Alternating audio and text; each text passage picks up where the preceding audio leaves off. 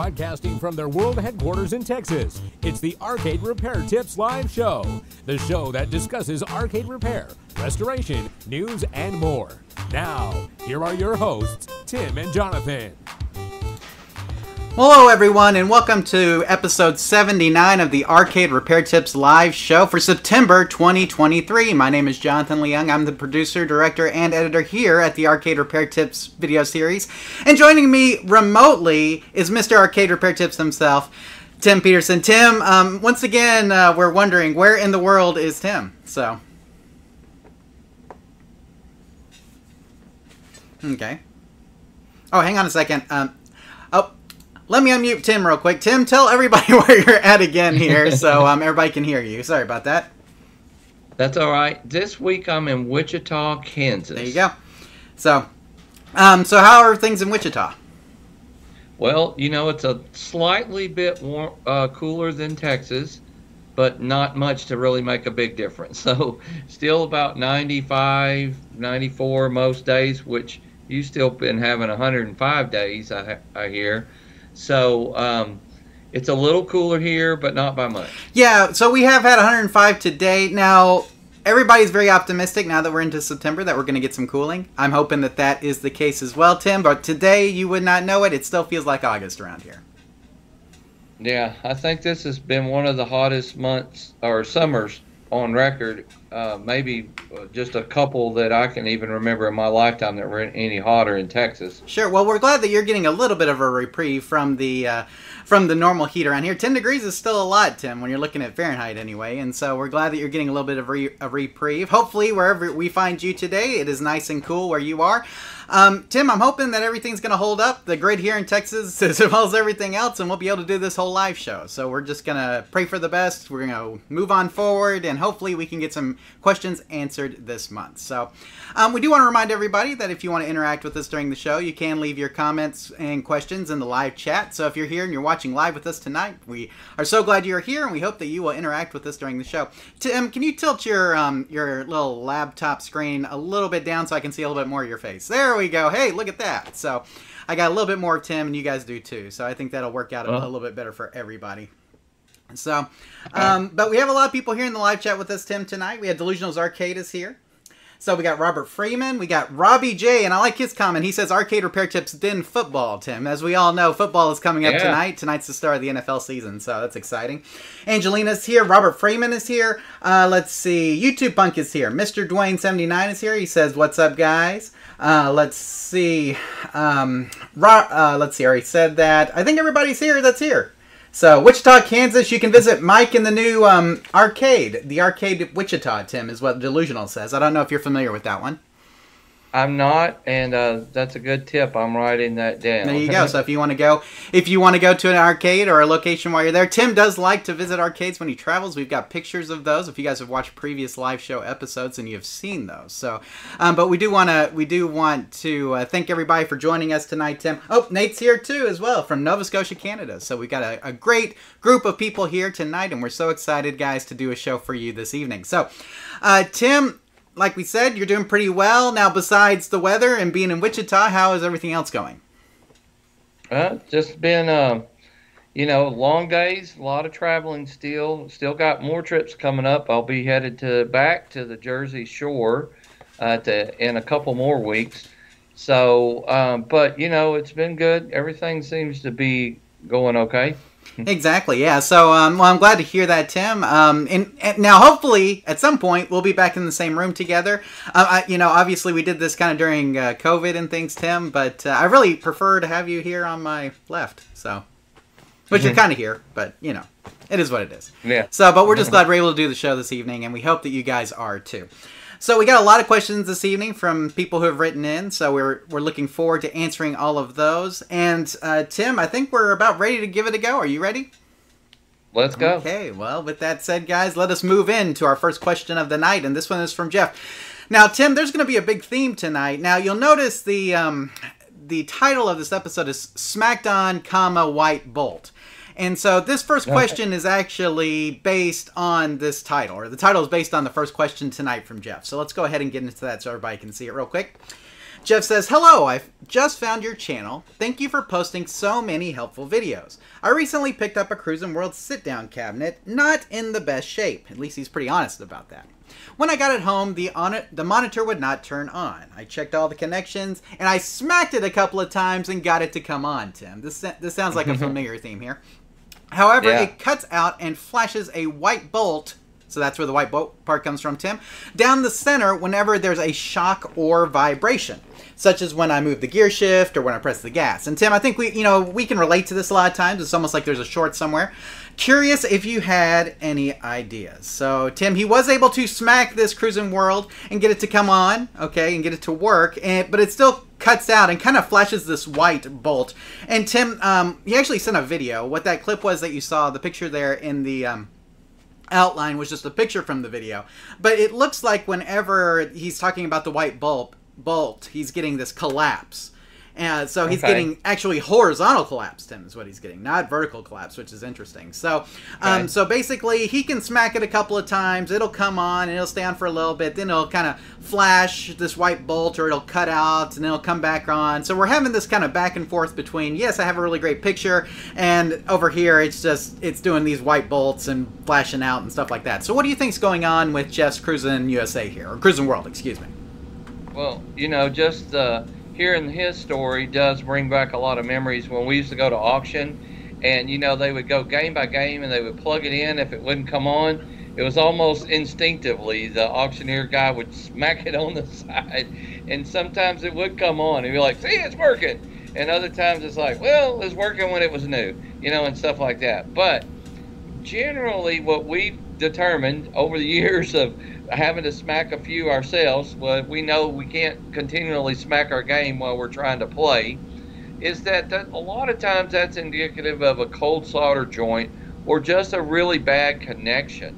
Uh, so if we want to remove the chassis and touch up all the solder uh, points, and also especially look where the power and things are coming in because it looks like as you know it doesn't take much jiggling or whatever it's kind of going in and off. It's kind of like if we set at the lamp cord and we halfway plugged it in and every time we bumped it sometimes it would go on sometimes it would come off. That's kind of what's going on here. So it's losing power it's trying to make a connection but not always. So i would suspect either a bad connection or some cold solder joints. Now you were right jonathan when it collapses, that horizontal collapse also could be uh, something going out uh, that the solder touch up might not fix, and he might need to get a new width uh, coil and kit and rebuild that part of the chassis if just touching up the solder doesn't fix it. Agreed. And Tim, when we get this horizontal collapse, um, a lot of times it's going to be in that horizontal section. So there may be, it may be the horizontal width coil having some issues. It may be that we need a horizontal width kit. It could also be the horizontal output transistor, the hot, right, Tim? That could be causing this kind Correct. of collapse. And so um, what we probably need to do is make sure that we're checking all the solder joints, especially in the horizontal areas of the chassis, to make sure that they're all touched up and, and properly connected. But Tim, with all that said, let's go ahead and summarize it here with the outline. And uh, Jeff, from your description and video, it looks like you're probably you probably have some cold, cracked, and or broken solder joints on your monitor chassis that are causing the issues with your picture. Try removing the monitor chassis from the cabinet and touching up any solder joints that look damaged or suspect. The, the picture seems to be collapsing horizontally, like we talked about, Tim. Now, people who have read our website or have heard us talk probably know that vertical collapse is way more common, right, Tim? We see this a lot more than horizontal, but that doesn't mean the horizontal collapse does not happen. So, um, if this problem continues after you're touching up the solder here, Jeff, then you may need to check out some things such as a horizontal width kit. You may need to install that. You may need to replace the horizontal width coil because sometimes that can cause things like that as well. Um, and if you have the chassis out and and the monitor looks like it hasn't had a cap kit installed in a long time, we would highly recommend doing the cap kit while you have it out as well. Not that that necessarily will fix the problem, but we already have the chassis out, and if it's been a while, we should just go ahead and do it anyway. That's a good idea. And like I said, it could also be the horizontal output transistor that's giving you issues as well. Make sure you touch up the solder around there and check to make sure that it's working well. Tim, is there anything else you have here for Jeff before we move on? No, try those things so Jeff and get back with us if they don't, especially if the touching up the solder doesn't work. But remember, we're talking about that's a lot of solder points And literally, there's so many of them that could be causing that in the hot area, in the connection area, even just a cap that could be have a bad connection, like a filter cap or something. So make sure that you're really touching up all those solder joints really good. Absolutely. So, uh, Jeff, hopefully answers your question, and good luck getting your Cruis'n World monitor back up and running 100%. Uh, Tim, the fact that he can hit it and it'll come back for a second, and then you know it kind of goes in and out. To me, cold solder joint that just it just screams cold solder joint. But as we said, if you're Yeah. gonna pull the monitor chassis anyway, it might be worth doing some other repairs while you're in there, such as cap kits, horizontal width kits, maybe, um, and checking the horizontal width coil and the hot while you're there too. So. Okay, let us look and see what's going on over here in the live chat here tonight, Tim. We got uh, Joe Holt says best t-shirts on the internet. Love the MLB logo. Yeah, so I have like a Hadouken with the MLB logo here. So um, very, very um, distinctive. You know, of course, you know it's not just MLB that does like this. What uh, the NBA logo is kind of like this too, right? Right, Tim. So yeah, it does look like yeah, that. so kind of the same kind of thing. But uh, yeah, you know, it's always fun to have fun shirts. We like we like video game related shirts around here for sure.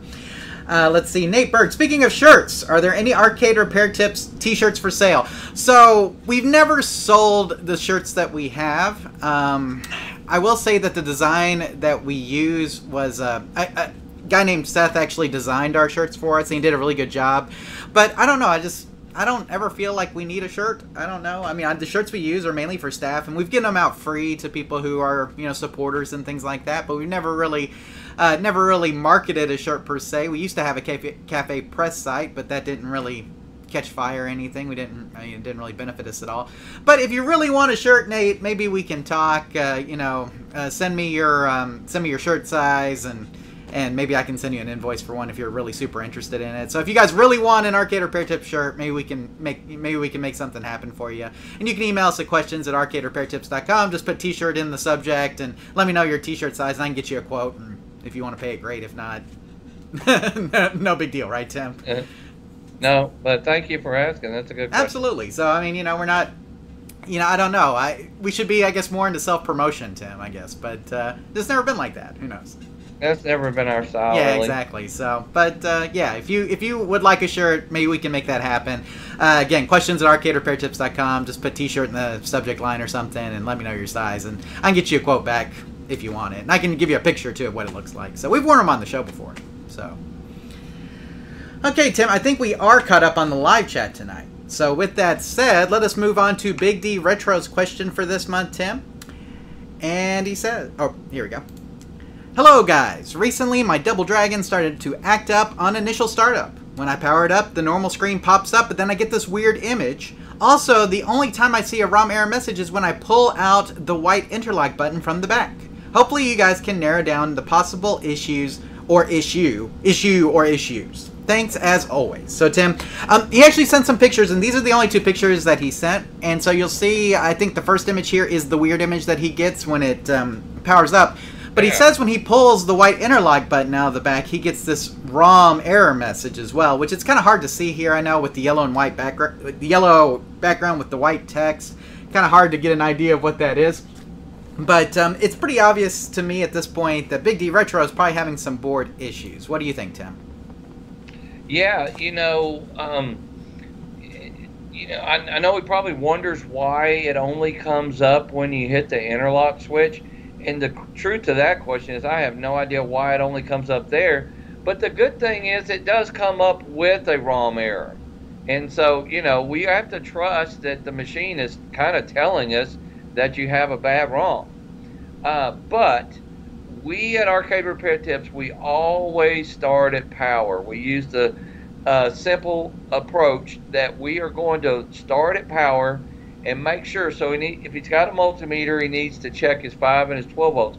Because if you're not getting correct voltage, you'll get a lot of uh, bad ROMs, bad things. If they're not getting the right amount of power to them, they're not going to work correctly. But if his voltage is correct, like we probably suspect it is, then the chip itself is probably bad. The one, especially that it's telling him it is, and he can get some new chips, hopefully from a place like HobbyRoms.com uh, or something, and try those. Maybe that will help but for for sure, we're always gonna we're gonna start with the ASAP approach and always start at power and check the power supply first. Sounds good, Tim. So let us go ahead and go to the outline here so we can kind of summarize what you just said. So anytime we run into any board or ROM errors like this, the first thing we're going to do is check the power supply. Use a multimeter to make sure your 5 volts and your 12 volts DC lines are sending the correct voltage to your board and adjust as needed. If you can, try testing the voltage at the referenced ROM chip if possible. That's very important, Tim, because you can have good voltage coming out of your power supply does not necessarily mean that you're getting good voltage to the chip that that is actually having the issue. So let's see if we can right. let's see if we can figure out if we're actually getting good voltage at the chip if we can.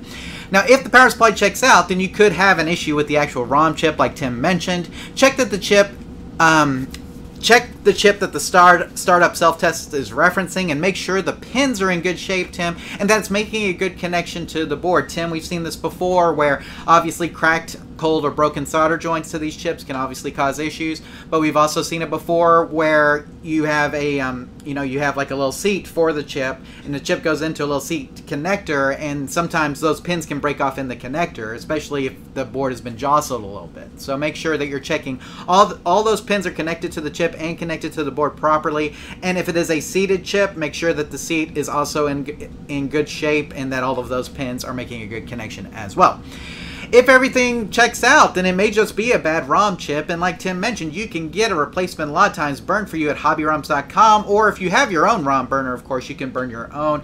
Uh, Tim, obviously, ROM images are available through um, through a variety of websites that carry the ROM images for things like MAME. So, I mean, if you want to get it that way, you can. Or if you want to contact HobbyRoms to tell them which one you need, they can get back to you with a chip. I'm sure that is satisfactory for your board. Tim, is there anything else that we want to mention to Big D Retro here before we move on?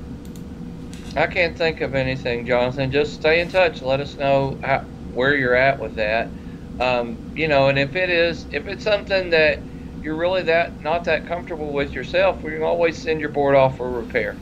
Agreed, Tim. And we have several people that we recommend for board repair on our resources page at arcaderepairtips.com slash resources. If you go to the board repair and parts supplier um, heading under there, you will find quite a few people that you can uh, send your board off to if you need repair. And Tim, in this next question, we'll actually be mentioning one of those who specializes in a certain type of board repair. So let's go ahead and uh, go over to that real quick. So, Tim, this question is from John, different John. Um, different John. I think we have a couple different Johns tonight. So this is not the uh, first John we'll hear from tonight, but they're different Johns. I promise, different emails and everything. So the first John question we have is about a Sega Star Wars trilogy. So let me go ahead and bring that up, Tim. Uh, he says, I have a Sega Star Wars trilogy. When you start the game, it will show the mission screen, but the gameplay section shows basically a blank screen with your score, your life level, etc., with nothing in the background. Sound and everything is working, I just don't have actual gameplay. Also, when I go to test functions, I cannot see them. I pressed the service button several times by what I saw in the manuals to get the monitor function, and it will pull up the red, green, and blue adjustment lines, but I cannot see any of the items or pages either. Very weird. Do you have any suggestions that can help me? Uh, thanks in advance, John. So, Tim, we have John here, and he's got a um, Sega Star Wars trilogy. Now, you had one of these, I believe, when you were at Chuck E. Cheese, correct? Yeah, I've worked on one one of those plenty of times. So, with the description that John gave here, it sounds like we're getting a lot of like the heads-up display type graphics, but we're not getting the actual gameplay graphics. So, yeah. So, with that in mind, what do you think's going on here with this uh, Sega Star Wars Trilogy arcade? Well, first, John did a lot of steps that I would have recommended. He tried to go into the settings and he did his monitor test and things like that based on what he's told us so far, it's a lot like the question we just had. Uh, we need to check the power and make sure we're getting the right amount of voltage. And then, if it is, it definitely sounds like he's got something going on with his board is- a board issue, which was not uncommon for this game, even when it wasn't very old. So you're saying that these games had a lot of board issues, as far as you remember? Yeah, as far as I remember, just because they were so hot up inside, there were such big cabinets, and they weren't vented very well. Uh, I remember uh, that they those monitor boards and this the main board would all had a lot of issues because of the heat in there. Yeah, and Tim, you got to remember that this is where we're starting to get that transitional period between like actual arcade boards and going more to like PC based boards.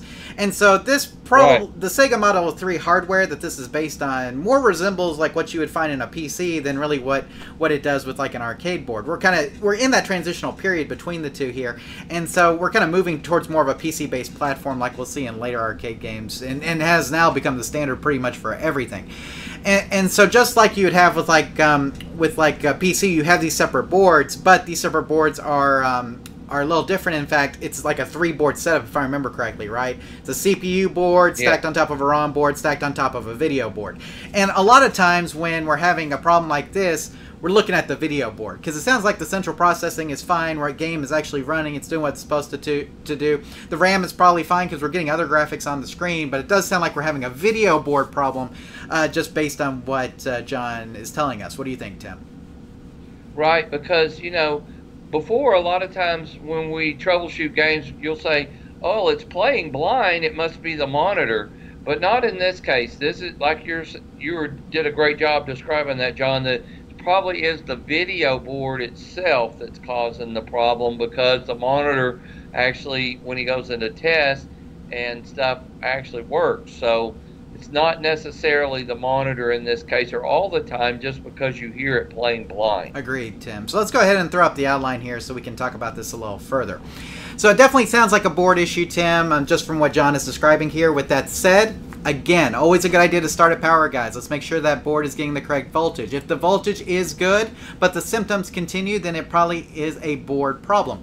Uh, now, this is um, Joe in the live chat here. Tim mentioned: is this the Vector game or is this the newer one? And this is the newer one, Tim, that we're talking about here, the Star Wars Trilogy arcade. Um, many people remember it for its very unique joystick and button trigger combination, um, not like the yoke what we have with the Vector one, right, Tim? Right, and uh, we say newer one. You know, it's pretty old itself, but that's not the vector Yeah. game. Is this, um, these sit-down versions, but we've seen the bigger versions too. One of my favorite Star Wars games, though. Yeah, I want to say that this is either early 2000s or late 90s. Uh, maybe early 2000s. Probably more early 2000s, right? Yeah, you always remember fighting Darth Vader with the sword, you know, and it's kind of kind of reminded me of uh, Dragon's Lair. You kind of had to move or something, you know, right at the right time when he was swinging his lightsaber at you. Agreed, Tim. So uh, yeah, it's a really cool game. If you haven't played it, we highly recommend. It's really, uh, it's just fun. I love it. Like Tim mentioned, we got uh, Tim got to play it a lot because he had one at uh, Chuck E. Cheese. So, but Star Wars Trilogy uses a model Sega Model 3 Step 2 board set that consists of the three board stack that we talked about: a CPU board, a ROM board, and a video board. Now, based on your description, it sounds like there may be a problem with that video board. So, Sega games are known for their numerous connections, right, Tim? Yeah. And so you want to make sure that all connections between that board and all the rest of the boards are good. You want to make sure that if there's any wiring harnesses that they're all connected properly. Because man, it doesn't take much for these games to um, to uh, for one of those connections to go bad and then throw off everything, right, Tim? Agreed. Yeah. So you just make sure that all the connections between the boards are good and the connections between the board set and the cabinet are good as well.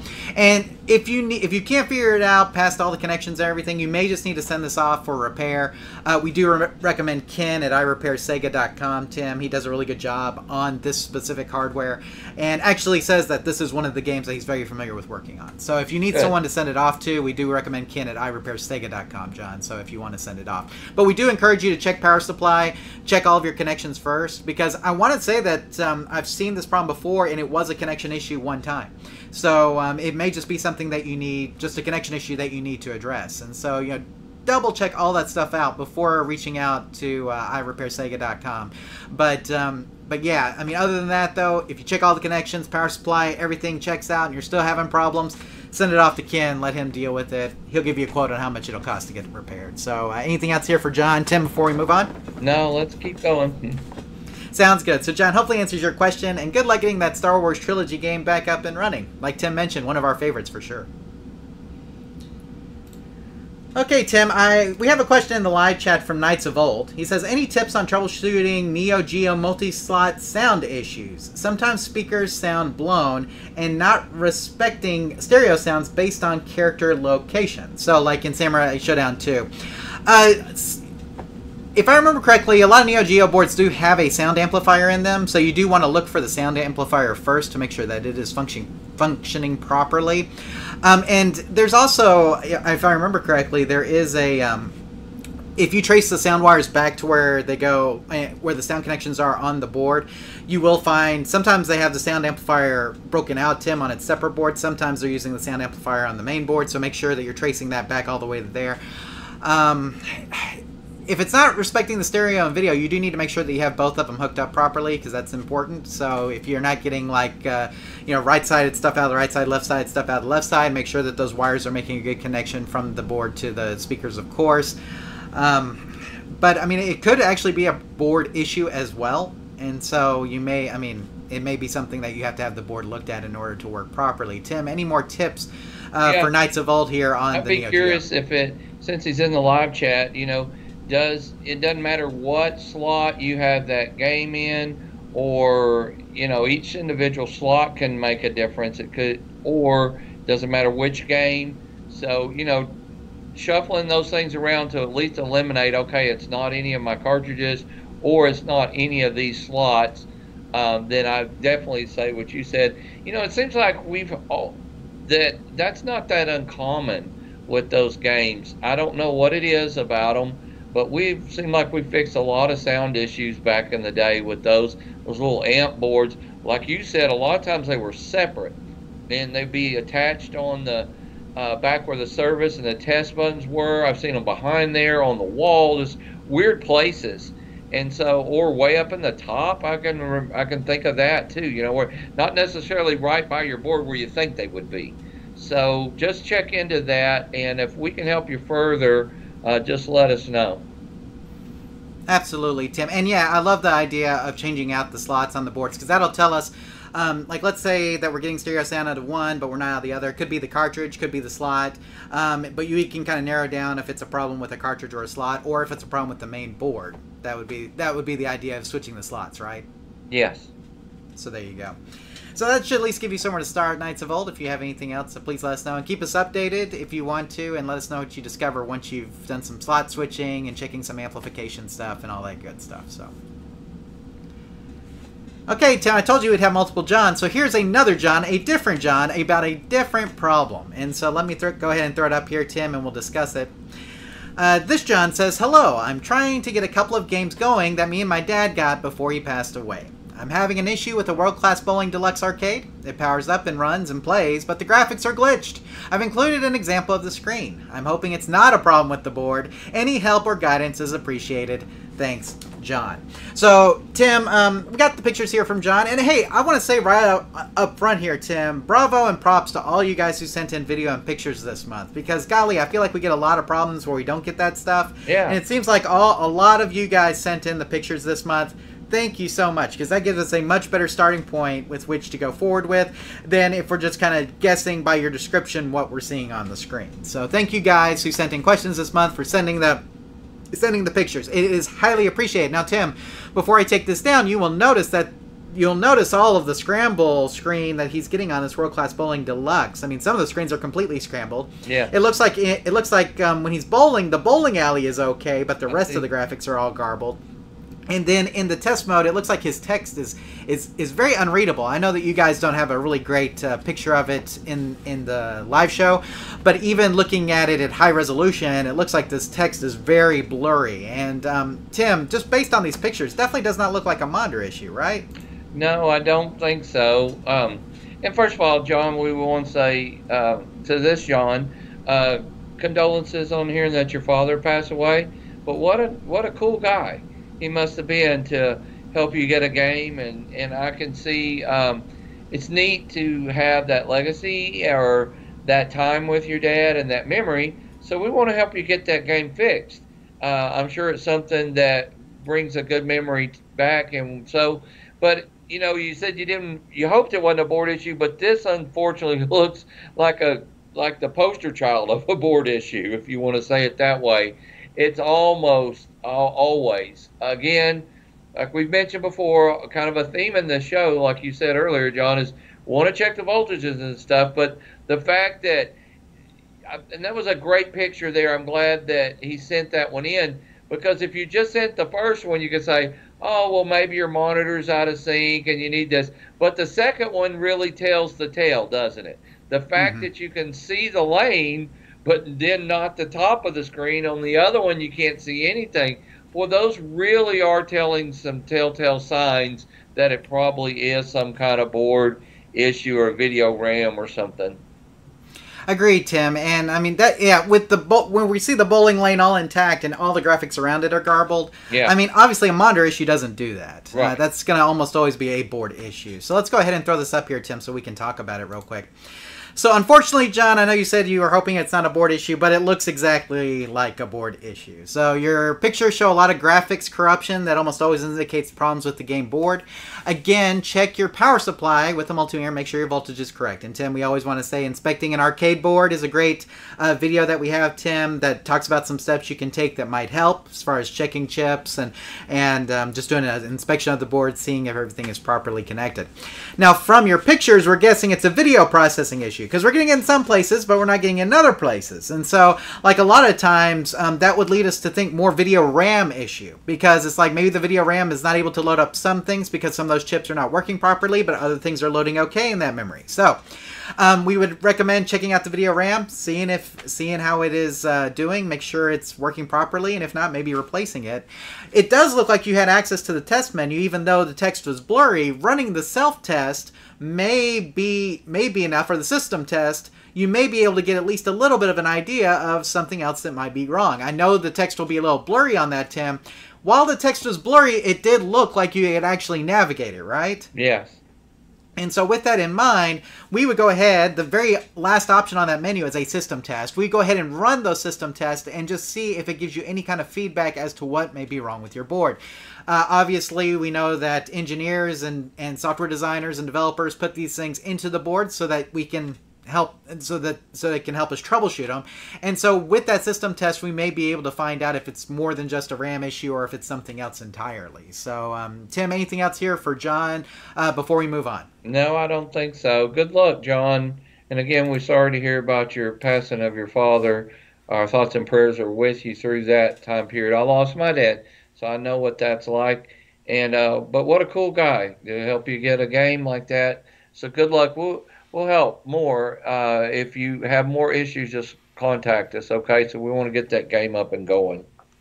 Yeah, I mean it's just heartbreaking here to hear uh, John's story, but you know, I mean, you know, we talked about we always talk about Tim games bringing us together, and it sounds like that was the case with John and his dad. The fact that they got these kind of you know before he passed away means they were both kind of invested in these games, and so uh, we totally get that, and we totally understand that, and we know that you're going through some hurt and some pain, and so uh, we're sorry to hear about that, but we do hope that you can get those games up and running. So you know, maybe once you get them up and running, you play them for a little bit, uh, it'll bring back some good memories uh, with you and your dad. So. Okay, Tim, I'm going to go over and check with the live chat real quick before we move on. Uh, let's see what we have here. Oh, we've had quite a bit here. Let's see. Um, it looks like Knights of Old says that that Neo Geo was a six slot and a four slot cab, Tim. Okay. So he had he had a six slot in there, which um, the six slot slot is really nice. It's a it's I mean obviously if you can get that that's that makes your job easy. Just put six six cartridges in there, you have a lot of different stuff to play. So um, let's see. Yeah, and uh, Cybermine Arcade looks like he's talking about some Atomiswave stuff, which is really nice. Uh, let's see. Jumping General, my dra- my Double Dragon plays perfect in its new JAMMA harness cabinet. I plug in my known working Altered Beast PCB with Sega adapter, and the game won't get past the opening intro. Uh, red tint and lettering. Okay, it's an all original cabinet, then it should be wired correctly. Is there a stereo output on the PCB? For, oh, oh, this is oh, hang on, that's for Nate. Excuse me, Tim. So that's jumping general. So he has a double dragon, plays perfect. It's got a JAMMA harness, but when he plugs in his altered beast with the JAMMA adapter, it's not. It won't get past the opening intro screen. He says he gets a red tint and lettering. So what do you think's going on there that would cause his altered beast not to work, even though the um, even though the double dragon seems to work fine? Well, you know, um, that's where we really got to check again the power at the board itself because once you start adding a JAMMA adapter and stuff in there, sometimes you have to tweak that up a little bit higher or then check the wiring. Just because you know you got a JAMMA adapter, make sure that they actually wired it up correctly. Uh, I have seen, you know, everybody makes mistakes. Uh, hopefully not. And hopefully they tested it good. But I would double check the wiring there. And then, of course, then we're down to another board issue, uh, kind of a theme tonight, if not.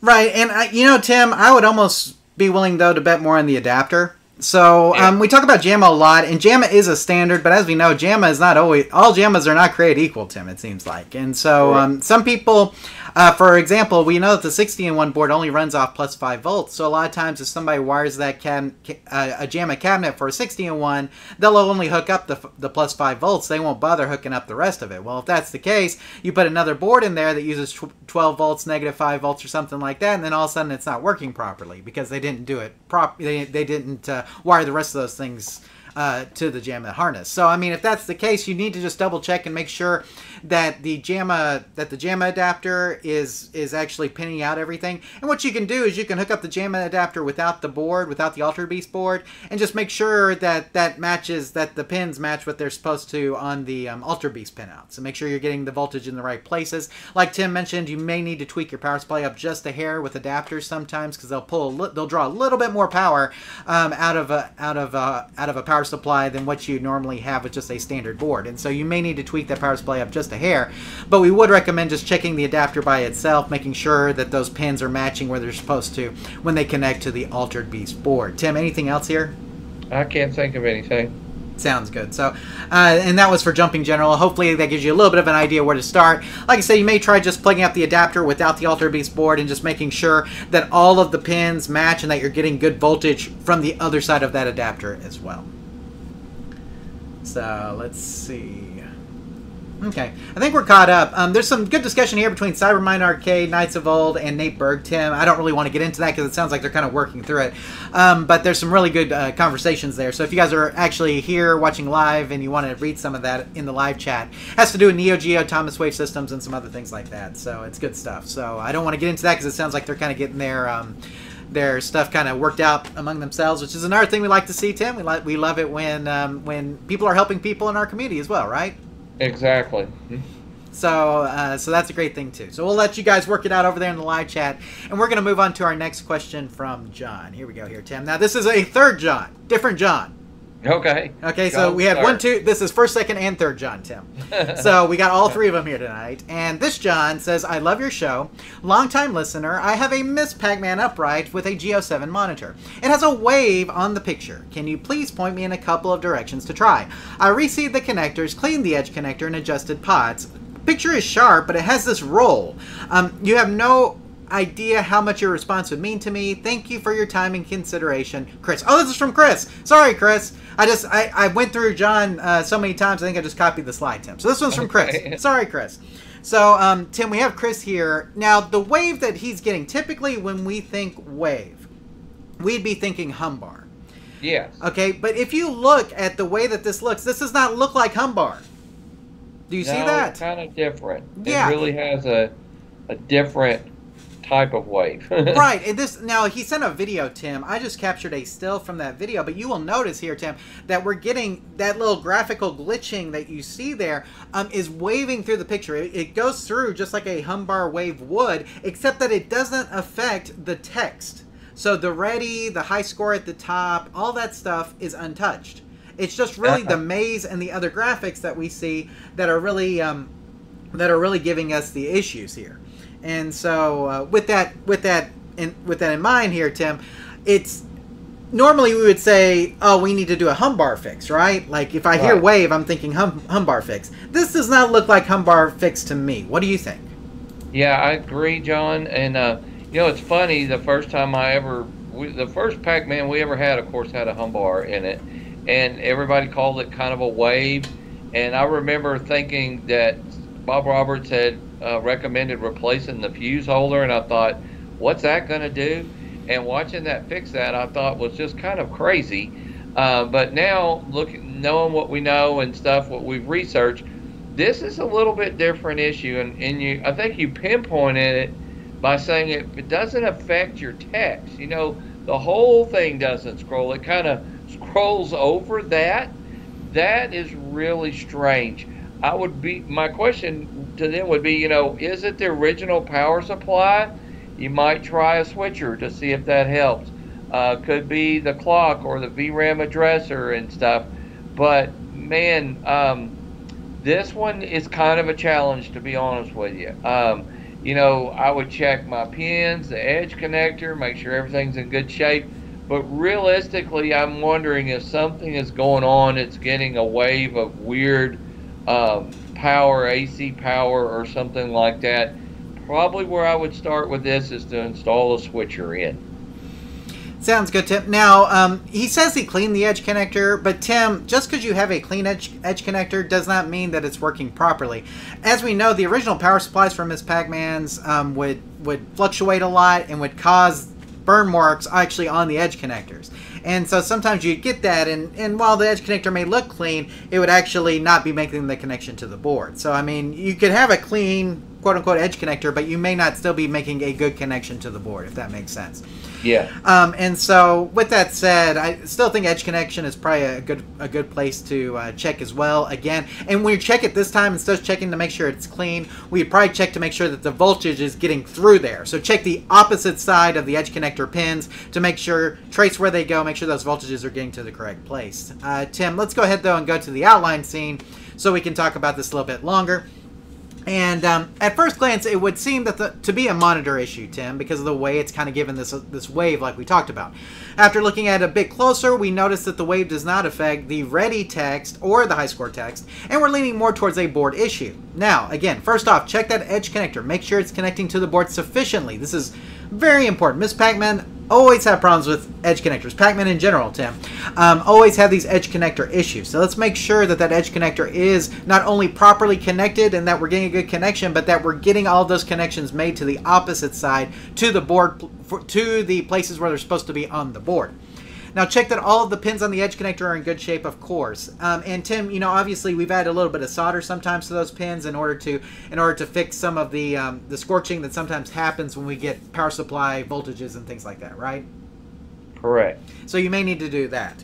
Um, but you also want to check that the grounding straps are properly grounded, Tim. It could still be an interference issue, okay? It's and we all have seen those really wide ground straps that run all over Miss Pac-Man cabs, Tim. Anybody who's up and one up knows what I'm talking about. In fact, I think we talked about in a previous live show. But you want to make sure that all of those grounding straps are going to the right places and that the things that are grounded should be grounded, okay? Because if you're not getting good grounding, you may have weird issues like this. It's very possible. So. Now, Tim said if it's the original power supply, you may try switching it out with a switching power supply just to see if it helps. Even if it's a temporary solution, Tim, that may be a good thing to try. Um, and Tim also mentioned could be a clock issue because of the way that it pulses like that, Tim. It could be something with the six megahertz clock to where it seems to it seems to happen like clockwork. So if the clock is messing up and not refreshing the screen at the right refresh rate, or if there's a different problem in there, it could be that. Could be the VRAM addresser, Tim, that's having some problems. Because again, could be a RAM issue with the way it's loading the screen, loading the maze as it's doing those clocks. It could be that the RAM is, is one of the RAMs is corrupt and it's giving us this weird, uh, this weird um, kind of corruption as the clock is going by. And so it could be RAM in general. So I mean, I, I'd check VRAM addresser, RAM on the board, and I would also make sure that the six megahertz clock was operating properly on the board. Okay, and I, I know that's all kind of techno jargon a little bit here, Tim, but it really just means it really just means um, you could hook up a logic probe and just kind of see if you're getting those pulses the way you're supposed to be getting them, right, Tim? Yep. I mean, I mean, there's not a whole lot more beyond that. And the RAM, if you just want to replace the RAM and the VRAM addresser, that may help you as well. Again, switching power supply may be the way to go as well. Uh, Tim, is there anything else so that you can think of just off the top of your head that may cause John or Chris's issue here?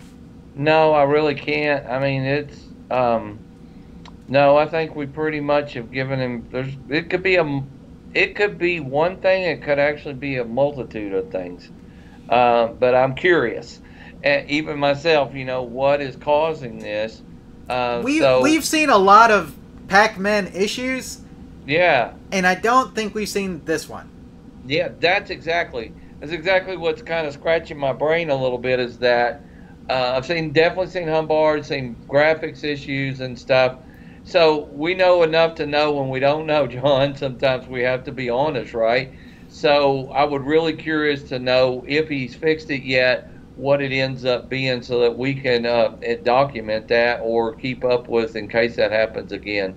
Agreed. So, Chris, if you do if you do figure out what's going on with this, please let us know so we can uh, so we can also document that because I think a lot of people would be interested in what the solution is for this one.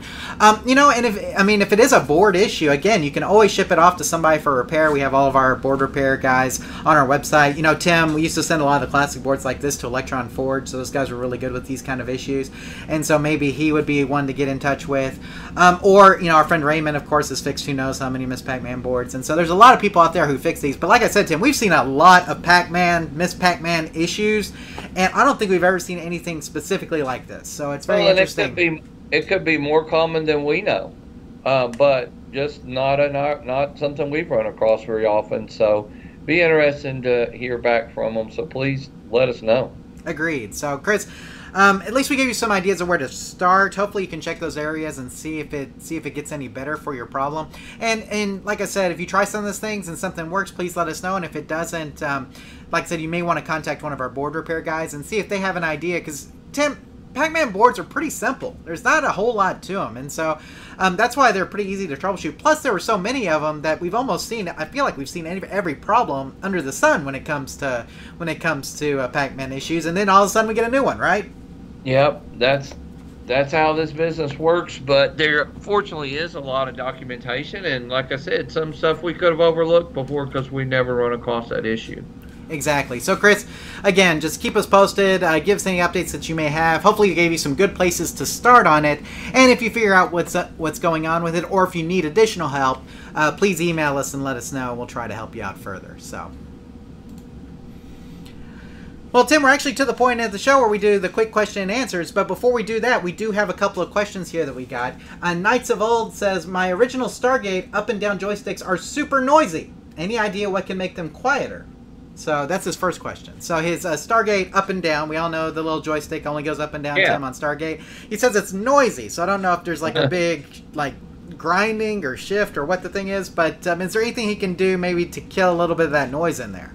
Well, sometimes you know, I, I, kind of, I probably can guess the noise. I can hear it almost. Um, you know, these things. Anytime water or any kind of liquids or something get in there, the best thing to do is to take the joystick out and take it apart and clean it really good. And sometimes old stuff will fall out there. May need parts rebuilt. Um, in a temporary quick fix, you could put some three in one oil or something up in there and see if that doesn't take care of a little bit of the noise. But probably the really best fix would be to take it all the way apart and take the joystick apart and clean each individual part. Um, and maybe a little grease or oil up in there wouldn't hurt. Um, but that'd be what I'd recommend. And Timmy uh, Knights of Old has a second question here. A couple of my cabinets have no power switch. Is it damaging? Uh, is it damaging to turn it off and on with the plug, just by unplugging it and plugging it back in?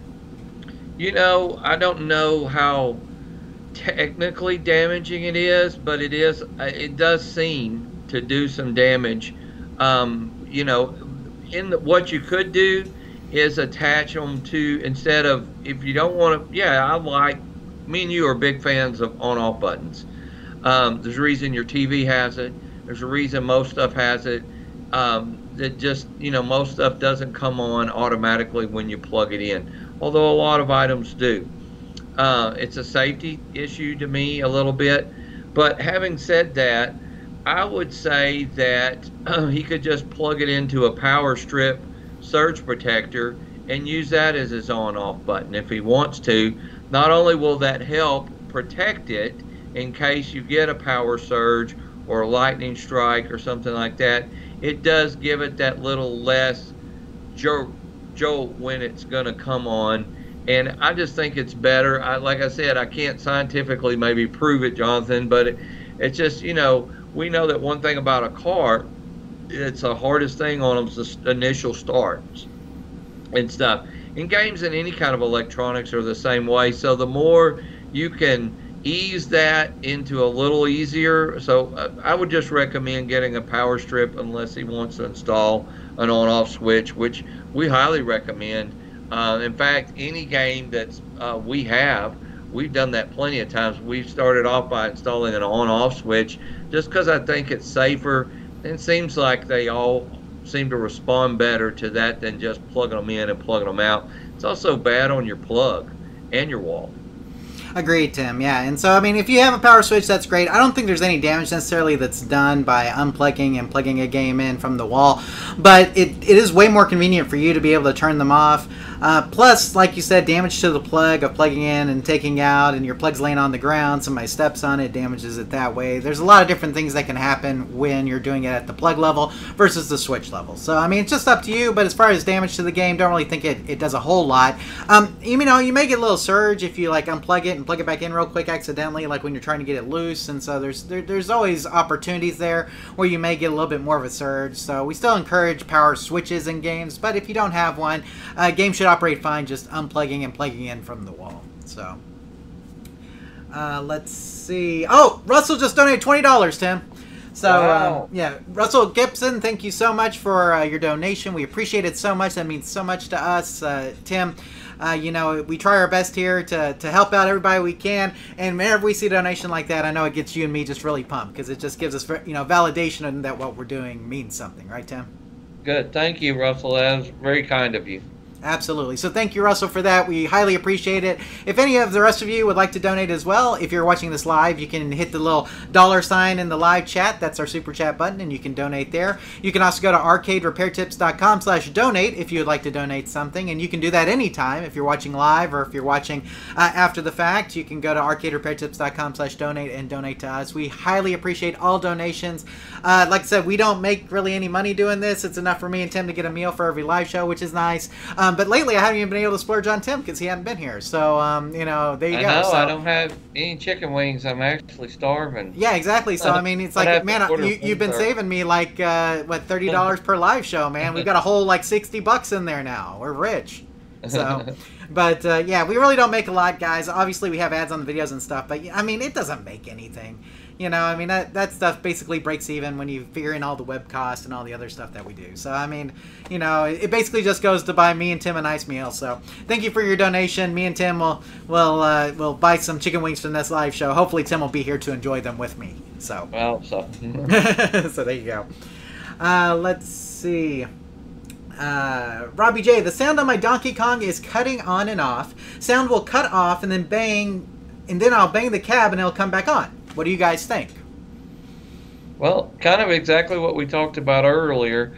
Um, the Donkey Kong probably has the Nintendo Easy Monitor, and that is your sound is part of your monitor, kind of. So there's some connections there that you can try, but by all means, check those solder joints on the back of that little soundboard. Yeah, it's got a little audio board in it, Yeah. and um, you know if if you just touch up the solder on it, you may be able to get it working. But if you've never installed the audio kit that they make for it, the little audio re- repair kit, just get the audio repair kit and put that on there. Like if you haven't ever done that, just do it.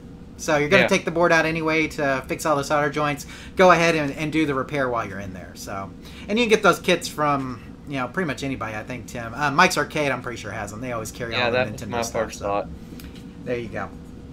Uh, let's see. That's the old on that joystick on the Stargate says it's really squeaky. So real Yeah. squeaky when it's coming through. And I think I've, we've we've seen that on Defenders as well, right? It probably just got a little liquid, even moisture, humidity. Over time, some of those parts are gonna, oh, you know, ha- even dirt, you know, can cause stuff like that. So just get in there and clean it out, blow it out real good. Like I said, you could try a little three in one oil. Uh, WD-40 is is a great cleaner that can get in there and you can spray those parts and kind of clean them with. It also has kind of a sticky, uh, I mean, a a greasy feel to it that actually a lot of people think of it as a lubricant. It's actually a cleaner, but it I would spray the heck out of it with some WD-40 if it was my game. There you go. And of course, you can always replace it if you if it's been a while since uh, you know you replaced it. Of course, it's working good. Like let it go, and then like Tim mentioned, just give it a cleaning, and it, it hopefully it'll it'll stop that squeaking once you've done that. Uh, Knights of Old Old says is the correct order um, as far as wiring it plug to the on-off switch to the power supply, and so that's typically what we'd like to do. You'll go your power plug will connect up to your power switch, and then all of that will usually connect to um, usually a distribution block that would go to your switching power supply and your monitor and maybe your marquee light as well, right, Tim? Right. And if you need to know more about that, um, the real Bob Roberts has a nice AC wiring diagram that we like to use, Tim, that shows how all that stuff should be hooked up. And so if you go to therealbobroberts.net, you look up his AC wiring diagram. That's the way me and Tim always wire the bottom of cabinets if we can. That's so. how we learn. That's how we do it. Yeah, that's exactly right. And, That's and where we learned it. I was about to say, Bob used to sell the entire cabinet bottom. I don't know if he still does, Tim, but um, there for a Yeah. while he would sell you an entire cabinet bottom with everything ready to go. Basically, power switching power supply on there, isolation transformer. You had the, the fuses, you had the AC filter, and the power cord coming out of it. It was super simple. You just throw that into an empty cabinet and go. And so, but the way the way that he does it is the way we prefer as well. So. Uh, let's see. Um, Delusionals Arcade says for that Miss Pac-Man bar issue, I'd swap in a known working PCB uh, to to um, to to take out the power. In other words, to eliminate the Yeah. power supply as an issue. If you've got a known working PCB uh, for a Pac-Man or a Miss Pac-Man, you could definitely swap that in there and see if the same issue carries on when you have the working board as well. Not everybody has access to another working board, Tim, obviously, but um, if you do, Chris, that may be a good way to go about it as well. And so, um, Pac-Man boards are not hard to get your hands on, and you may know another collector in your area or, or operator that has one that may just be willing for you to, to borrow it to swap in to see if the problem follows it. So, because it, it's not like your board, it's not like it blew up your board. You know what I'm saying? Your board seems to be working properly. Uh, or it could be a problem with your board, but I don't think it's going to harm it to swap a working board into that cabinet. What do you think, Tim?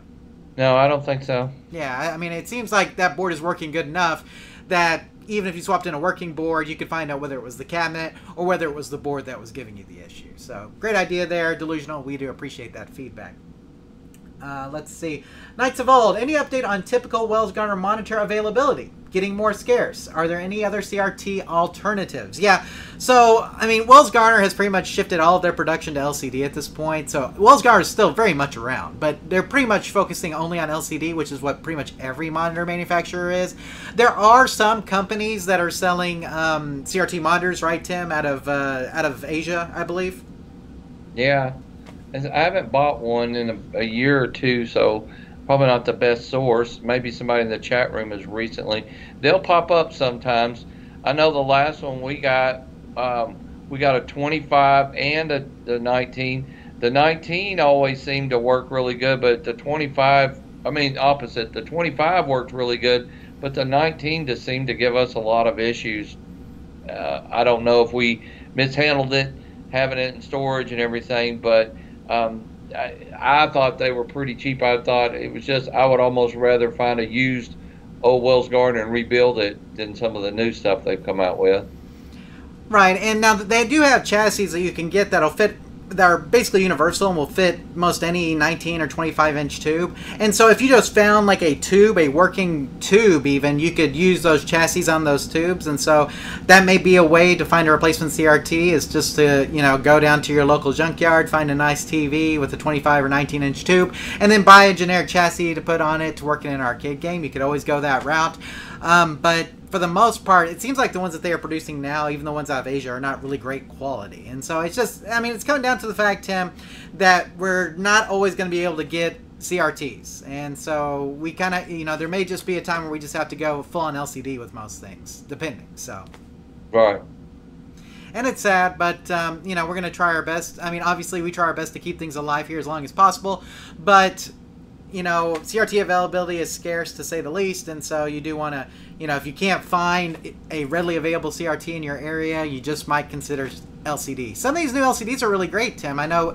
Um, I know some of the we talked about that 25 inch one from that company, Tim. They did the reviews on it recently, and the reviews weren't great, but still, I mean, it looks like there's going to be some alternative LCDs out there that are 4x3 that will fit in arcade gap cabinets natively. And so, I mean, if that's the case, it should it's going to be pretty close to the same experience you'd get with a CRT. Obviously, it's flat screen and it's an LCD, but if we're at least getting the 4x3, I feel like we're at least we still have a little bit of a feel of a CRT in there, right, Tim? I agree. Yeah, so there you go. Okay, Tim, well, let us get to the quick question and answer section of the show tonight. And for those of you guys who have never been here before, this is where I rapid fire three questions at Tim, and then Tim rapid fires three answers back on these questions. And so, with that said, let us go on to these questions real quick. So, Tim, the first one we have is from Virtual Robots Revolt, And they say if the red color gun is not working, can the monitor be fixed? So, very first question red color gun, gun is not working. Can the monitor be fixed? Uh, Joshua has an Atari Xybots. The screen comes on, it's really whitewashed, and then the whole thing will shut off. I don't see anything wrong with the wires. The fuses look fine. I do not know what to do. And then we also have Tom, who's got a Miss Pac-Man 61 board. Okay, it was playing blind. He hooked a computer monitor up to it, and then a few minutes the power supply went out. He replaced it with another one, and that one started smoking and went out. Okay, so what do you think? Is it a problem with 61 board or the adapter? Thanks, Tom from Indiana. So, Virtual Robot Revolts, red color gun not working. Can the monitor be saved? Um, Joshua with the Xybots, it comes on, but um, it'll just shut off, and I don't see anything wrong with the wiring. And then Tom with a 60 and 1 that's blown two power supplies due to smoking, which is pretty pretty suspect as well. So, Tim, let us go and rapid fire these one, two, three. Give me these answers on these. So, Tim, if the red color gun is not working, can the monitor be fixed? That is our first one. So, what do you think? Um, it's possible through tube rejuvenation. Outside of that, no, it's Right. not not a lot you can do. But I, we have. That's why people use a tube rejuvenator. A lot of times it can fix those issues. Agreed. So Joshua has the Xybots, and it's, it sounds like it comes on for a while and then it shuts back off. What does Joshua need to do in order to get this thing running? Well, we talked about this earlier. You're going to start at power always and check the all the way from the power to your house. We've even had games that weren't the right power coming out of the wall. So you want to check from the wall all the way through. Start at your power and make sure you're. Uh, you'll have to have a multimeter, um, but check all your voltages from the wall all the way through your power supplies. And then we have Tom, who has a Miss Pac-Man with the 60 and 1 adapter and 61 board installed, and it's blowing these power supplies like left and right. What do you think's going on? Is it a problem with the board, the adapter, or what's going on? One of the best ways to do is unplug your board and then but the fact that it's you don't usually get that kind of feedback from a board that would take out a power supply. It just wouldn't work most of the time. Usually when you're seeing that, there's something else going on in your cabinet causing feedback, like could be an AC wire touching somewhere or a bad light even up in the top of the game. So literally um, you're going to ch- start checking your wiring and stuff is the best thing I can say and disconnect all the DC voltages and kind of find out where it's coming from. Where are you getting this massive feedback? Having said that, is it possible that it's board? But it would literally probably be like a board that was touching metal or something. It's not very common that a component would go out on a board and throw that kind of feedback. It's usually on the back of the boards, two wires are touching or something like that. Or I have seen somebody actually install a board straight to metal and just short out the power supply. To get that kind of feedback, something mega is probably going on like that. Now, um, Nate also said on the power supply question, ask if they switched it from 120 to 220. Most folks don't know they have to switch it, assuming it's one of Uh, those. that is a that is great a, a great thing to chime in there with. You know, something we don't discuss very often because it's pretty rare. But he's correct. If they don't switch, if you got the wrong power going to it, you're going to blow a lot of stuff. Uh, speaking of that, Tim, I've been helping the Regzer show with his track and field, and he had a switching power supply, and he, he tested it with two different meters, and it always came up, the 5 volts always came up like 420, even when he turned it up all the way, 4.20. And it turned out he had it on 220. So the power supply was expecting 220, but he was only feeding it 120, so the 5 volts was coming out at like 4.2. Well, when he switched it to when he switched it to 120, guess what happened? Solid It 5 worked. volts. Yeah. So, I mean, that definitely happens. So, you definitely need to check that switch on the bottom. It's very important that you do.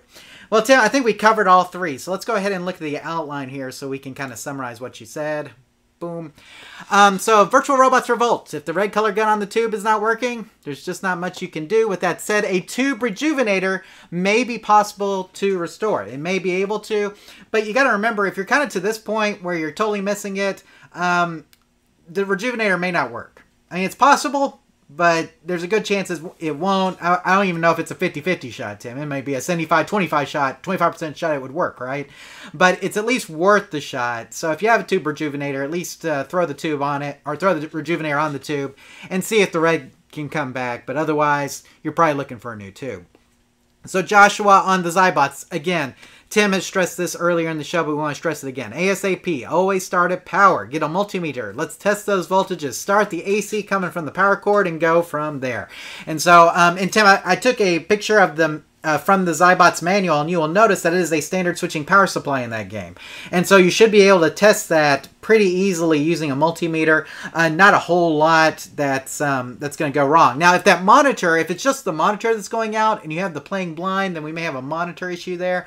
Um, but Timmy didn't specifically say that he was still getting sound after the monitor went off. So we're just going to assume that it may just be a power issue at this point. But if you have additional questions, you can email us, let us know, and uh, we'll try to help you out. Now, on Tom's, again, sounds like your power supply is getting some feedback from somewhere. Let's check those input voltages first, make sure they're good. Then disconnect all DC voltages from the power supply. See if it runs without smoking. Tim mentioned let's unhook all the boards and see if it'll run without smoking the power supply. That'll let us know if we're getting feedback from the board or are we getting feedback from the wiring, right, Tim? Yeah. And then, I, go ahead. I kind of dread that method because whatever causes it, you may go through another power supply but just keep looking and keep reading your voltages and seeing what causes that. It, it, sometimes it's a tough method to use, but it often works. Some power supplies have a, an internal fuse. Yes. And so if you have one that has an internal fuse, it may blow that internal fuse. Now the ones that's if your power supply smoked, it may it could have been the fuse smoking or it could have been the power supply smoking. But if you open yeah. up the power supply, a lot of times there'll be an internal fuse. And so you may just it may just be a matter of replacing that fuse every time you start getting that feedback. And so you may go through some fuses, Tim, but hopefully you're not going through power supplies. So hopefully not. There you go. So, um, but again, we're trying to figure out if it's a board or a wiring issue. So let's try to run the, the, cabinet without the board to see, and maybe with just the adapter to see if it works, or maybe even without the adapter, Tim. Right? Let's just start with just plain old plain cabinet, no border adapter hooked up. Let's see if that works. Then let's go to just the adapter. Okay, are we getting any feedback to that power supply? And then move on to the board from there. And that'll that should give us a good starting point as to whether it's the board or or the adapter or something else. And of course, Tim, you may want to check the voltages off the harness at each point. So check the voltages at the Pac-Man harness, make sure all the voltages are good there. Check the voltages at the adapter, make sure all the all the voltages are good there. And then uh, once you put the board on it, you know, check to make sure all the voltages are good on the board as well. So, and it could just be like misgrounded. It could be a grounding uh, short or something like that as well. Really hard to troubleshoot those things. It's just a lot of trial and error, right, Tim? Exactly. Or so, so, Tom, hopefully that answers yours as well. But hopefully we gave everybody here a good place to start on your issues. Unfortunately, it sounds like for Virtual Robots Revolt, his two may be gone. Joshua, again, let's start that power supply on that Xybots. And Tom, uh, let's do some process of elimination on your cabinet. See if we can figure out what's causing those power supplies to blow. So, okay. Well, Tim, I think that about covers it for all the questions for this month. A couple of comments here in the live chat. Joe says Xybots is the heaviest cabinet on Earth. LOL. Um, I believe. What?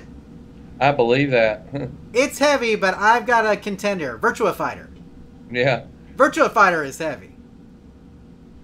If we're just talking about standard arcade cabinets, now obviously we could go into, um, uh, you know, we could go into some of the sit-down style cabinets, Tim. I think those are heavier. If you've never moved a Virtua Fighter cabinet, I think the Virtua Fighter has it beat. 25 inch monitor, Tim. Yeah. You know, Xybots only had 19 if I remember correctly. so, um, if you guys, um, it looked like Delusional said search for the real Bob Roberts. If you're looking for the real Bob Roberts website, therealbobroberts.net. If you go there, it should still take you to his website. So therealbobroberts.net, all one word there, and it'll take you there. So, well, Tim, we're done with questions. But that doesn't mean the show's over. We got a lot more to cover. And Tim, earlier this month, we had a deal on some stretch wrap. And I posted it in the Facebook group because, you know, it, stretch wrap is something that's very handy to have. And so I thought I would get you to expound upon that and tell us what's so great about stretch wrap. So, Tim's tech tip for this month use right. stretch wrap when moving games. So, Tim, I'm just going to wind you up and let you go because I think you can talk a lot on this topic, right? Yes. Okay, go for it. So we started using stretch wrap pretty early when we were moving games, even if we didn't have to move them very far. Um, there's a couple things about it. Uh, one thing I think to all of us collectors, it protects the artwork and stuff when you're moving and getting skint. it also keeps like your coin door from flapping open, your back door from coming undone, things from falling off. Uh, Jonathan, one time, you remember we bought, uh, we went to an auction and we kind of got into auction fever because my son was playing this Popeye game. This is before we met. Yeah. I just know the Oh, story. This is before we met. Wow. I didn't realize that. So, yeah, a long time ago. Um, and he really liked this Popeye game. So I think I overpaid for it. I- At the time, that seemed like a lot of money. It was like $400. And when games like that were generally going for about 200 and I know a lot of people out there was like, well, I would give you a $400 for a Popeye game right now, I'm sure. But again, we're talking about late uh, 90s. And uh, so I, my friend laughed. He said, well, at least it's got the best bezel I have ever seen on on any Popeye game. It was like perfect, and that's a lot before there were reproduction bezels and stuff. So even though I felt like I overpaid on a Popeye, I did have the nicest bezel one that I'd ever seen. And so we were getting ready to go home, and we strapped it down in the truck. The wind came through, and that pretty bezel ended up down on the interstate somewhere, and there was no going back for it. Uh, so uh, then once I got it home, we had this game. So the solution that I kind of came up with was from then on, I would just stretch wrap everything, and that would have at least, even if the bezel one wind wouldn't have come through there like it did. Um, so just a good way to protect your games. Um, now you might see in the picture that one of them uh, has the fancy holder. Those probably cost a little extra. Um, that thing will eat your hand up when you're trying to shrink wrap. We've never actually done a video on how to do it, but you want to pull it as tight as possible. But one way that you can do that without cutting your hands, just cut a couple pieces of small cardboard and stick them in the ends where your hands are cupped like this, where your hand's not getting cut by that thing, and you can wrap around one pretty good. So the way I do it is I pull one side, stretch it, then I pull and stretch, pull and stretch as I go around from top to bottom. Works great on pinball games, anything like that. If you don't have some shrink wrap, it's almost a must. I keep it in the truck back seat all the time. You never know. Even moving furniture, or if my wife finds something on Facebook Marketplace. Uh, not long ago, we bought a um, a coffee table or something, and I shrink wrapped it real quick, and we put it in the car. Um, so just a great thing to have and a good tech uh, tip if you've never uh, used it before. A lot of you probably have. It's something good good to have and keep around. And a roll like that could last you a lifetime almost, depending on how many games you move. So just because it's 20, 20 or thirty dollars, um, you're gonna. That's a lot, a lot of wrap that you would use that for. Yeah, the deal we had, Tim, was for a thousand feet, and that's in two 500 foot rolls. So uh, Yeah. and that it came with the little holder too, which is really nice. So that way, you know, you could just put the handles on and just wrap it around. Wow. Me and That was a Tim, yeah, me and Tim will get on either side of the cabinet. We'll just hand each other back the stretch wrap as we're going around, and we can get a game wrapped in like two minutes, quick. Yeah. So, you know, if there's two of us, it doesn't take long. But, um, you know, a lot of times, Tim, like you said, coin doors, will- when you're going down the highway, coin doors will flap open because, you know, they took the locks off of them for the auction. Or the back door will be missing and stuff will just be flying out of the back of cabinets. Or, I mean, stretch wrap just prevents all those headaches. Okay, and it's not um, this deal. Unfortunately, is not going on anymore. But I still have the link down below. I think it's gone up to like twenty six bucks, Tim. So it's only gone up like maybe three dollars or something like that. But just do yourself a favor and get you some stretch wrap for your truck or whatever. And it, like I said, more good for more than just arcade games, right, Tim? Correct. Yeah, for moving furniture. Uh, great on pinball machines because what we'll do a lot of times is we'll we'll wrap like the top half of the body of the pinball, and then we'll then we'll lay the neck or the head down onto that wrap, and then wrap all around that, right, Tim? Correct. Yeah, so that way we can protect we protect the body part of the pinball machine as well as the head part of the pinball machine. So, um, Yeah, even on like an arcade game, you could put a big piece of cardboard on the side and wrap around that. Or what I like to do, John, is I put a blanket over it and then wrap the blanket to it where I don't have to tie the blanket down, but I wrap the blanket to it. That gives me some cushion, protection, and it makes it a whole lot easier uh, just handling.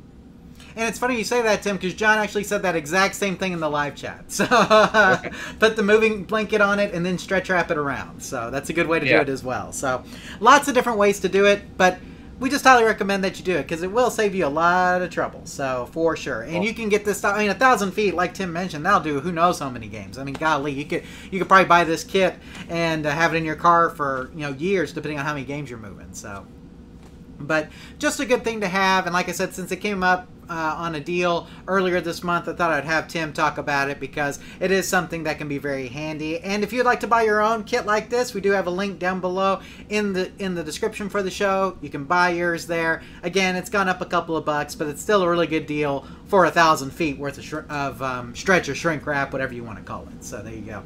Uh, Tim, anything else on stretch wrap before we move on? No, I'm good. There you go. So, uh, guys, just keep that in mind. It's a great tip, Tim. Let's get let's get our game stretch wrapped when we're moving them. Let's keep them together. Another thing is, Tim, have you ever gotten a cabinet that's really water damaged? Yeah. And so a lot of times there'll be chunks of the cabinet that will come off as you're moving it because like the whole bottom is water damaged. If you stretch wrap that, that will keep that from happening. You'll be able to dolly it a lot easier. So. Agree. So there you go. Uh, let's see. Yeah, um, John says he also uses gloves with his wrap. So instead of having the little handles, he'll just wear gloves around. That's a good way as well. So, uh, but that's good stuff. There you go. So, now Tim, I added something last minute, literally last minute, to the outline. Did you see this? I saw well, it. Well, it literally came up last night. So I was like, well, we're gonna get this on because we got a lot of comments but we didn't get input from the live show audience. And I, I think live input may be better on this topic. So, uh, Tim, we saw a very unique Cruis'n USA cabinet on Facebook Marketplace. And so I'm going to go ahead and throw up the slide here so people can see it. Um, Tim, this Cruis'n USA cabinet has been cut down. So the, the the basically the part of the cabinet that housed the CRT monitor was cut off okay, and just made to be a flat surface. And then they installed an LCD pedestal monitor mount um, in order to in order to view the game, okay. And so we asked the audience last night what they thought of this modification. I'm going to go ahead and read a couple of those comments, Tim, so that we can kind of get some thoughts from those people. But what I really want to hear is the thoughts from the live show audience as well as Tim's thoughts. So, Tim, why don't you give us your thoughts on this? What do you think of this modification to Cruis'n USA? Is this something that you think uh, would, is a good thing to do, or maybe something that is not so great? I mean, what are your what are what are your thoughts? Enlighten us. You know, I don't hate it. I I would if it was my game at home, and you put a big screen TV up there or something, uh, big LCD up there and I bet if you played it, you would probably have a lot of fun. And I kind of like that it's right there. I don't dislike it. Now, having said that, I'm not a big fan of. I like games that stay in the original. I would almost respect it more if somebody had just built this from scratch. Then I would probably really like it. But I get that, you know, we want to stick with the original stuff, and they did kind of destroy the cabinet there's a little difference there. But you know what? To each his own. I don't have a problem with it. So let me get, well, Tim, I think I kind of fall into your camp. I mean, part of me is sad because we we cut a cabinet. You know what I'm saying? I mean, it's not original, but at the same time, I actually like the fact that it's got the mount there. It means we can put a really nice screen on it, like you said. So, um, yeah. let me go ahead and read some of the comments we got on the Facebook page last night. Um, Patrick Scott Patterson, our good friend Tim, said, "Interesting. I'd have to see the full setup for a deeper opinion, though." Now, Tim, he does mention in the Facebook ad that it's still running everything original except for the monitor. So okay. everything else is original except for the monitor. So that's something to keep okay. in mind. So, um, let's see. Andrew says, unless the top was trash beyond repair, um, but to cut it and mod it, come on, man. No, I'm serious. You know, like, you know, he's saying just don't do it, right? Um, Ronnie says, why not? I mean, whatever you can afford, you have to work with what you have. That was Robbie's com- Ronnie's comment. Um, let's see. Tetsuya says, looks kind of sad, but they kept part of it, right, Tim? They still tried to keep most of it intact, or what they could anyway.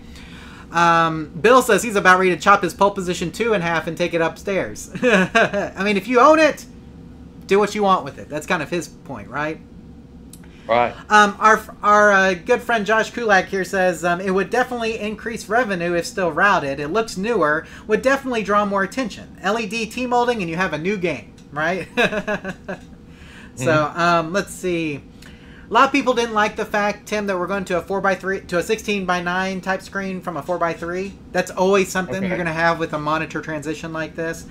Um, Sean says this looks like a hodgepodge of the Betson conversion kits. So, Tim, Betson has a conversion kit for supercars, um, which I think is an Atomiswave based driving game, to where basically it's the same kind of thing where you mount an LCD where the CRT is, almost the same kind of cabinet modification. And uh, Carl says um, he thought it looked like the kit as well, and he likes the screen height on this a little bit better, he said. And our friend David Hohenstein, who runs American Amusement Auctions, Tim, he says it looks like they're using the exact idea from Golden Tee cabinets. Operators all across the country about 15 years ago started cutting those big white cabinets in half, making pedestals out of them, versus spending thousands of dollars on a factory pedestal cabinet from incredible technologies. And so, um, Tim, this does seem to be a trend among arcade uh, arcade repair people now, right? To where, in order to save money, they're they're basically making it to where we can mount an LCD there, right? Yeah. And it looks like we got a little bit of feedback here in the live chat as well, Tim. Nate says, as a collector, it hurts, and having something all original in most cases is eye catching and attracts customers, is what he says. So, but honestly, as an operator of an arcade, I'm all for it. It saves space and it's easier to move, especially for rentals, he says. And then uh, John says, I played a rare game today. Oh, uh, he's, he's talking about something else, but he played um, a rare QB3 not Q*bert Rockola game from 1982. It's a vector, he said. It was very fun. So, um, but yeah, I think this is interesting, Tim. I think it'd be awesome to play on a large screen, but the collector in me is like, you cut an arcade cabinet in half, you know, kind of thing. Yeah. We've seen Miss Pac-Man like this, right? Sure. Where they've done this to a Miss Pac-Man. They've actually cut off the, they've cut off everything but the, they cut off the top half of the cabinet. You just have basically the bezel and the thing. So I've seen that too. But um, Nate says for most of these racers, an LCD monitor would make it look better. Some of these even have VGA um, ports so that the CGA to VGA uh, board isn't needed. And he's right. So a lot of these cabinets, a lot of these boards will output natively to VGA. And if that's the case, throw a monitor up there, a nice LCD monitor, Tim, you're basically in business. So I think overall, the I think some people some people were really against it. Some people were really for it. I'm kind of of two minds, kind of like you were talking about, Tim. Part of me really, really- likes it, part of me doesn't. Yeah. So it's hard to tell, but I mean, hey, it's your cabinet, Tim. You do with it what you want. That'd be the main point here. So, but I I'm glad that you guys gave us a little bit of opinions on that. Um, if anybody else wants to share their opinion in the comments after the live show's over, you're more than happy to do that. We'd love to hear what you think of this Cruis'n USA cabinet modification. Johnson, how much were they asking for it? What was the asking price? Um, I think it was seven hundred. Um, Okay. Now you got to remember it was all original. So Right. um, let me look and see if I can find the price real quick. I was just curious, you know, I'm like, because it doesn't come with a TV. Right. So you'd have to buy the TV, but I mean. TVs nowadays are dirt cheap, right? So Yeah. it's, not, it's not like you're spending a lot on the TV part of it for sure. But um, I could see, like you're saying, I mean you're still still a couple hundred dollars, right? Exactly, easily. Seven hundred dollars in Wisconsin, Tim. Okay. So Joe says it looks like a rascal scooter couldn't stop in time. There you go. so, there you go. Yeah. So I mean, it, yeah, actually, Tim, you know, it could look like a scooter. You know, you just add a little back half to that. You know, um, we'll be driving around town. You know what I'm saying? So, uh, you know, I mean, it, it actually looks bigger than one of those smart cars. You know what I'm talking about? yes, I do. Yeah. So there you go. But anyway. Okay, guys. Well, uh, let's go ahead and move on to the news for this month, Tim. And uh, I know a lot of people are not big into the Tron, like the last Tron movie, Tron Legacy. But Tim, I loved it. I keep posting um, information because the third movie is being worked on and it's coming out soon. I think the script's already written. But there's something that's preventing it from happening, Tim, and that's the big strike, right? The SAG-AFTRA Right. strike, okay? and the WGA, the Writers Guild Association, strike as well. And so it was supposed to start filming this month, but due to these strikes, the new Tron Ares, Tron 3 movie will not be coming out on time. And so, uh, and as you can imagine, Tim, the director, is very frustrated about this. So uh, Joachim Rønning uh, has confirmed that the expected production start on the Disney sequel will no longer go ahead due to the ongoing strikes. Bra- blaming an extremely frustrating lack of negotiations on the production's need to lay off 150 crew members indefinitely. So, Tim, that's 150 jobs that are no longer there because they're not starting filming on this movie. And so, I can understand why he's why he's frustrated. But you got to remember, Tim. I mean, I, I, don't know if you've seen the royalties that like um, that the writers and the and the actors are getting off of streaming. Basically, it's nothing. And so all right now they're they're striking because like if you look at a traditional TV syndication deal, Tim a lot of people get a lot of money from that, but in in streaming, they're just not getting hardly anything. So um, I understand why they're striking, but it kind of sucks for those of us who like TV shows and movies because it means that everything's delayed. So I wish they would just figure out, kind of like um, the director here. I wish they'd just figure all this out soon because I'm ready to watch some shows. So the fall schedule is all reality TV. Did you notice that, Tim? I didn't notice. Yeah, so um, all of the regular shows and everything, for the most part, are, are, on delay. And no different for the Tron movie, Tim. But I am still looking forward to it no matter what. Like I said, I know a lot of people were kind of down on Legacy. Tim, what did you think of Tron Legacy? I liked it. Okay, it wasn't my wasn't one of the best movies I ever saw. It was entertaining enough. Absolutely, I thought it was fun. Um, it, you know, I love just being back in the Tron universe, Tim. Um, for some reason, it always just reminds me of the arcade. You know, I mean, every Tron movie has had that iconic arcade scene, right? The first one with Flynn's arcade, and then, you know, obviously in Legacy where they, you know, pull the pull the the um, the cloth the cloth off of all of the arcade games, and just see this big dust cloud come up. There's just something iconic and something I associate with Tron and arcade games, you know. And of course, the Tron arcade game is really fun as well, Tim, and goes for a high dollar now. But um, you know, I I will always have a soft spot in my heart for Tron, and I'm hoping that they can get this all this strike stuff settled so we can get this third movie out at some point in the future. So um, you know, looking forward to it. Uh, like I said, I just like the universe. I want to be in that universe more. So hopefully, we'll see this sooner rather than later. Uh, Tim, the next bit of news we have is that Arcade1Up has revealed its Time Crisis um, arcade cabinet along with three other arcade cabinets. So, um, Tim, Arcade1Up has officially revealed its um, upcoming Time Crisis cabinet. The unit will arrive later this year and cost $750. It's an authentic re- recreation of the iconic arcade shooter, complete with two light guns, a vibrant screen, and premium built-in speakers. Arcade1Up also announced new $500 deluxe edition cabinets of a trio of staples: Galaga, Street Fighter II, and the Atari 50th Anniversary cabinet. Now, Tim, I feel like Arcade1Up's going to keep releasing Street Fighter 2 and Midway style cabinets like in perpetuity, but the Atari 50th Anniversary is also a different cabinet than the one that they've had earlier. It contains a lot of Atari 2600 games on it, and it has that nice black and gold aesthetic that we've seen with a lot of the Atari uh, 50th Anniversary um, games and things like that. And so, but Tim, what do you think about the Time Crisis cabinet? I think it looked pretty sturdy and solid. I liked it. I thought it looked okay. Yeah. Now, yeah. 750 bucks is way beyond like what the initial um, arcade one ups were when like they first started coming out at that $300 price tag, and so we're way beyond that price right now. But I mean, you're also getting kind of a more premium experience. Do you agree? Yeah, with the both of the guns, and they kind of look similar to the original guns we know guns aren't cheap and stuff. I don't think it's an, an, an outrageous price. I think it's probably fair for what you get. Yeah, and it also has the pedal down at the bottom, you'll see. So they actually did take yeah. the time to put the pedal in it, which they didn't have to do. But that does give you a more authentic experience, especially with Time Crisis, Tim. I love Time Crisis. It's so fun. So, um, but uh, yeah, I think it's a cool cabinet. I wish they would have included more Time Crisis games on there, maybe Time Crisis 2 at the least you know, because that's probably my favorite of the series. But the fact that they, um, the, the fact that they've still they got Point Blank on there, which is also a fun game.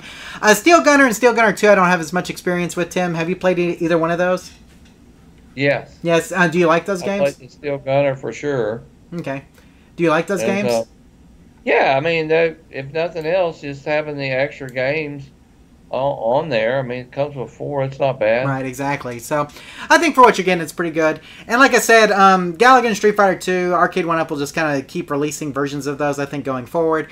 Uh, but the Atari 50th Anniversary cabinet is new, and um, it looks pretty cool. You guys can go online and kind of check some pictures of it, see what you think. But uh, Tim, I don't think I'm really the market for these at this point. Um, I think there are some other people who are probably more into this than I am, but I do think it's cool that they're they're obviously still finding an audience and that they're still able to release these cabinets. So, I agree. So there you go. Joe says, um, let's see, Tim can write the new Tron movie. Probably get hated on, but the last one was pretty good. There you go. You see, we're not the only ones who thought that, Tim. Yeah. Um, do you know how the guns work on this machine? Sensors. That's from Nate. I believe it is sensor based, Tim. So I think that these are, um, you know, these use um, not optical sensors, but like uh, basically kind of like what you get with the infrared sensors on like the Wii. So something to that effect, I think, is what they're going for here. So not for sure. Um, they may have actual like um, picture style camera sensors in them. I've seen that before too. Um, I'm not sure how the other arcade one up games worked. That probably gives a better indication of what we're looking at there. But I'm sure it's. Uh, I mean, infrared sensors have become pretty big, uh, so probably something like that, or something more like uh, camera based. I'd imagine. So. Okay, Tim. Uh, the next, the next little news article we have here is about a new G.I. Joe game, Tim, and it says G.I. Joe gets the Streets of Rage treatment in a brand new arcade style brawler. And so, G.I. Joe Wrath of Cobra, a new arcade style side scrolling beat 'em up game, has been announced. The game will give you command of a number of G.I. Joe favorites, including Duke, Scarlett, Snake Eyes, and Roadblock. All of the iconic weapons, locations, and vehicles will be at your disposal. This game will be released on consoles and PC in the first quarter of next year, 2024, Tim. So, pretty cool. Um, pretty cool thing. I, you know, Tim, I think back to the G.I. Joe Konami game, and I think a lot of people expected it to be more of a side scrolling beat 'em up like this, but it wasn't. So maybe we're finally getting that side-scrolling beat 'em up that we expected when Konami initially got that GI Joe license. Tim, how do you feel about GI Joe in general? Oh, I, I think it's cool. It's a good theme. I mean, a lot of people remember it. Pretty iconic from uh, both of our eras of growing up. Um, timeless, you know. GI Joe goes way back, even older than arcade games. So, um, and and still has some stuff today. So I like it. I think it, it should do okay. It'd be interesting. I would definitely play it if I saw one uh, at an arcade. I'd want to play it. Yeah, for sure. And I, I mean, we played. I've played the original GI Joe by Konami from back in the day, and it's okay. Like I said, it really wasn't. I think what we were expecting out of out of um, Konami. They were known so much for their side-scrolling beat 'em ups like this, but um, Right. hopefully, we're finally getting that in this. And so um, I'm excited to see when it comes out. Of course, it's going to be on PC, Tim, which means that if you have a um, if you have a MAME cabinet, you can obviously play it on that, which is really fun as well, right, Tim? Correct. Absolutely. So, uh, let's see what our next news article is. Oh, Tim, this is probably the biggest news article that we had for the month, and this is the Atari 2600 Plus. Now, Tim, did you hear about this? You do know what I'm talking about? Yes, I did hear about this. Okay, so the article from The Verge here says a new Atari 2600 will play your old cartridges. Atari has announced the Atari 2600 Plus. The new console will be released on November 17th and will cost $129.99. Uh, pre-orders are open now, so if you guys want to pre-order it from either Atari directly or Amazon, you can. Um, let's see, it's a fully functioning 80% scale HDMI outputting version of the console, and it comes with a 10 in 1 game cartridge. Atari says it supports both 2600 and later 7800 game cartridges and will work with original joystick and paddle controllers. Tim, Atari has been leaning into nostalgia a lot lately. I mean, we saw Yeah. it with the with the reproduction PCBs. We've seen it with the Atari 2600 cartridge releases, and this is just another example of that. And Tim, there was more news that just came out today that they bought the AtariAge website. I don't know if you saw that as well. I did see that. Yeah, so I mean, I think this is great that Atari is leaning into this nostalgia and, and finally giving us a lot of the things I think we've always wanted. I, I think a lot of people have always wanted a nice Atari 2600 that would uh, not only play your cartridges but also allow you to um, to hook up to a, a new style TV and play those cartridges. And so I think that's going to be a really fun uh, fun device when it comes out. Uh, personally, I think the 129.99 price tag's a little on the expensive side. What do you think, Tim? Uh, you know, the the original cost more than that, John. My first one, so it doesn't sound super outrageously expensive by most prices today. But I think we'll see a lot of those. I think a sweet spot around ninety nine dollars or or less. When they start going on sale, I definitely think they'll sell more. Agreed. 99 does seem to be the sweet spot here. But Tim, I know a lot of people have already pre-ordered, including a lot of people who commented on our story that we posted on our Facebook page. There were several that said they had already pre-ordered. So obviously for everybody, uh, the 129.99 might be a little expensive for me and Tim, but obviously a lot of you guys, you're more than happy to pull the trigger. So um, hey, to each their own. hopefully you enjoy your new Atari 20, 2600 Plus. We'd love to see what some of you guys, uh, uh, some of your guys' thoughts whenever you guys receive them and then start playing with them, what you guys think of them. Uh, so please, if you have any of those thoughts or anything like that, please let us know.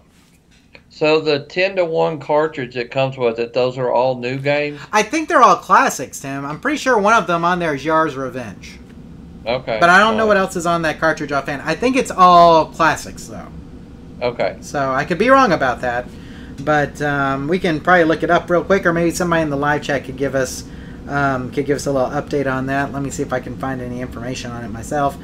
Um, but yeah, I'm, I think it's all classic games. I was pretty sure.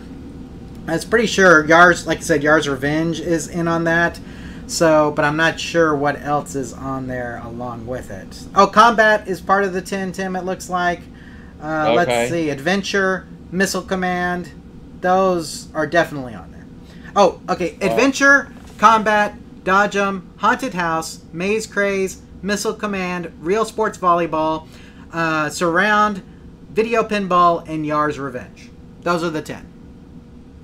Nice. So, I mean, it's all classics for the most part, right? yeah. Sounds like it. So there you go. But yeah, so you get that 10 in 1 cartridge with it, so you'll have something to play. But if you got any Atari 2600 games around, you get to play those too. So good stuff. Pretty cool. Well, Tim, I think we're about ready to wrap it up. So uh, I'm going to go ahead and get into uh, some of our, uh, you know, contact information and other reminders like that. Um, is there anything else though that you have here in the news section you want to talk about before we move on? Are you pretty? You uh, is there anything that piqued your interest that you saw that maybe I didn't discuss tonight? I'm curious.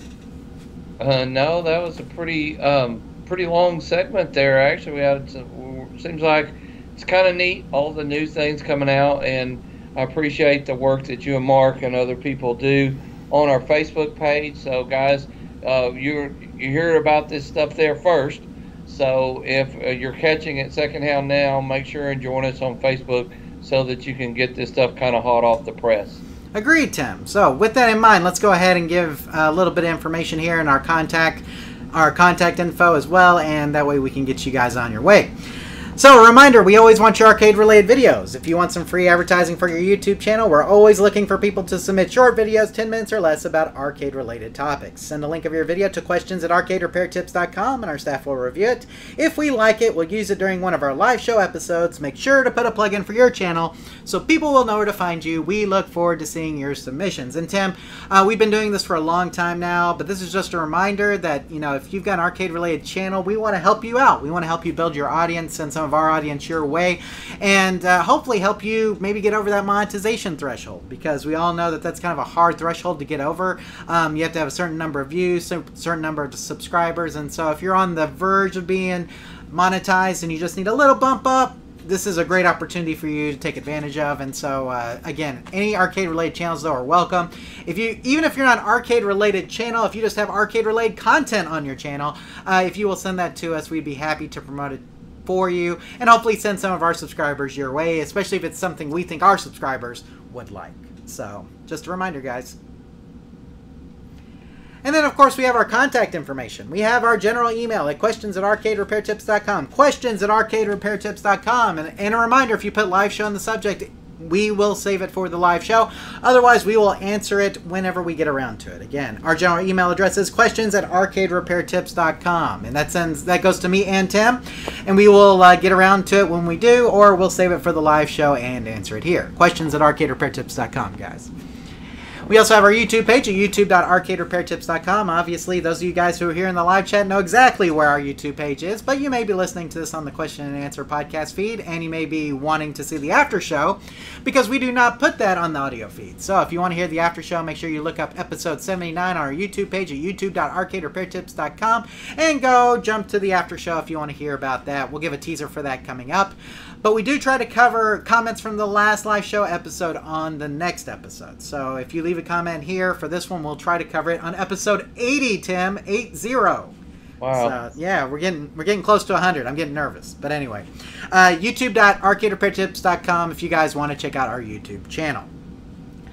Tim, we also have our podcast feed, which has our live show episodes, audio from those, interviews, question and answer podcast, etc. And you guys can check them out um, basically wherever podcasts are aggregated, but on three these three platforms specifically iTunes at itunes.arcaderepairtips.com. We have our Spotify page at spotify.arcaderepairtips.com.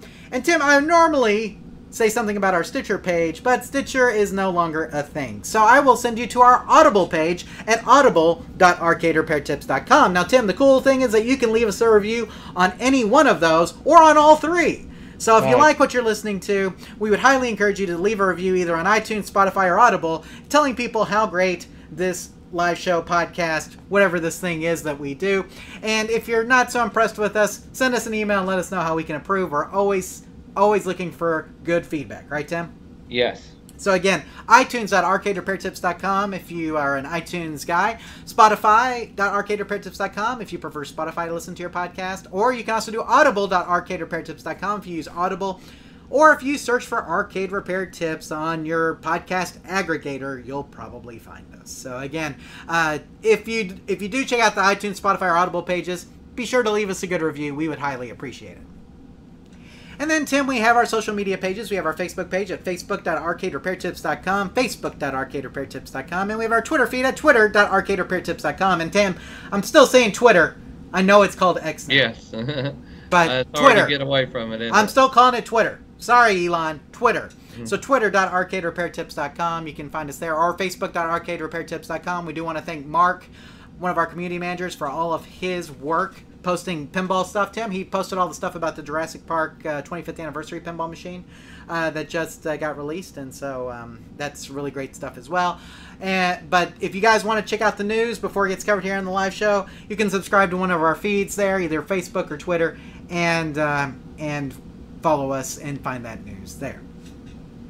Now, Tim, I got a little comment here in the live chat from Carlos. He says, "Just want to say thank you for the heat gun. I never won anything before. It came quick. Thanks again." So Carlos won the heat gun from the previous episode. So congratulations, oh. Carlos. We're glad that you got that heat gun. Tim, we do ship out the private prizes that we give away. You know, Tim, we haven't given away anything tonight. Yeah. Should we fix that? Sure. Let's do it right now. I have this Space Invaders projection light. What do you think? Oh, how cool. Yeah, so this is a Space Invaders projection light. It says a color changing projection, Tim. Oh, so this cool. light is not a toy, it says. Um, batteries not included, so you will have to get those. But this is a Space Invaders projection light, and it can be yours if you will send an email to contest at arcaderepairtips.com and make sure you include include the keyword Tim.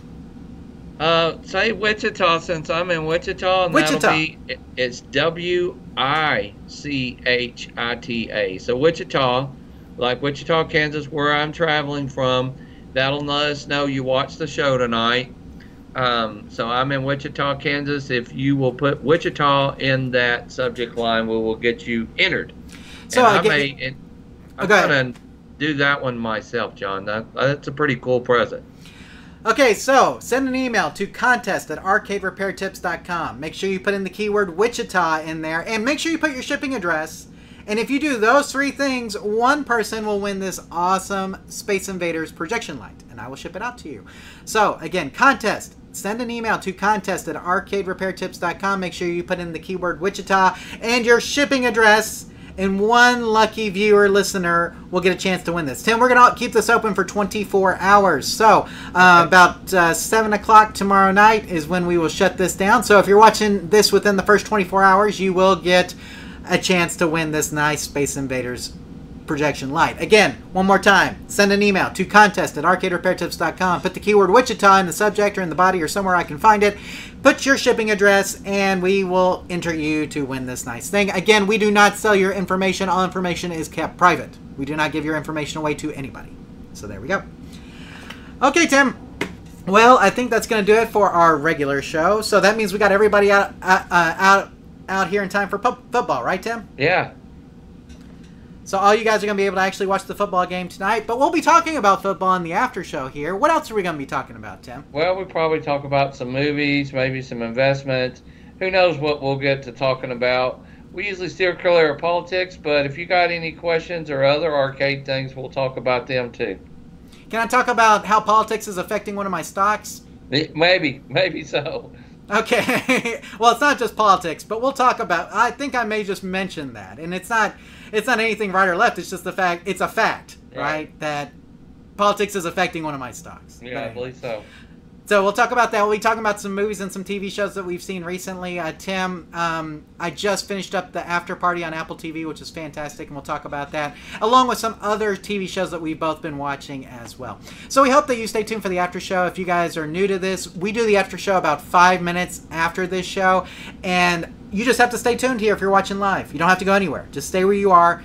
We're going to take a break for about five, ten minutes and we'll come right back. If you're listening to this on the question and answer podcast feed, you will need to go to the YouTube version of this episode to check out the after show. So, but Tim, I think we're about ready to wrap it up here. I'm going to go ahead and come over to um, to the live chat one more time. Carlos says, um, let's see. Car- uh, Carlos just said thank you for the heat gun, Tim, and I'm glad that he won. That's awesome. YouTube Punk says it's still Twitter to him, and I, I agree. It is still Twitter to me too. So, um, YouTube Punk says treat your heat gun like it's always loaded, Carlos. So there you go. That's a that's an important thing to do. You know, you don't want to be pointing that thing in the wrong direction, Tim. So. Anyway, well, anything else to say, Tim, before we move into the after show and say goodbye? No, goodbye, everybody. Thank y'all for watching and listening and being so loyal.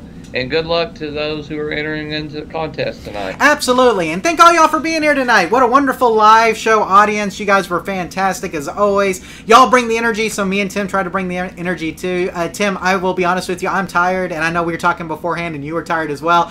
So, um, but I'm going to apologize for yawning some. I have had a long couple days. But there's something about getting into the show and just getting excited and having a good time. And so we want to thank the live chat audience for being here and feeding the energy to us tonight. Uh, because of you guys, you're the reason we do why we do is because you guys enjoyed. And so thank y'all for being here tonight. Thank you for interacting with us. And if this is your off ramp, then we hope that we'll see you in, for our October episode, Tim, which is coming up very soon. Okay, but we do hope you stay for the after show here in just about five to ten minutes. But if not, then we'll see you next month. And remember, here at Arcade Repair Tips, when we fix the game, we play the take game. Take care, everybody. Bye, everybody. We'll either see you in the after show or we'll see you for our October episode next month.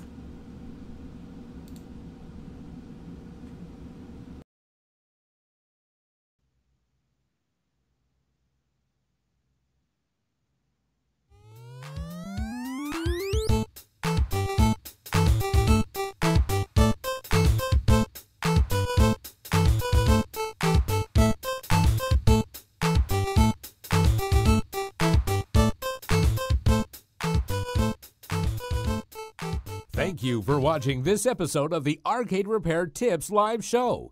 All of our past episodes are available on our website at arcaderepairtips.com or on our YouTube page. This show is intended for entertainment and educational purposes only. Please consult a professional before attempting to repair any coin operated machines yourself. The preceding program is a Varcade Entertainment production.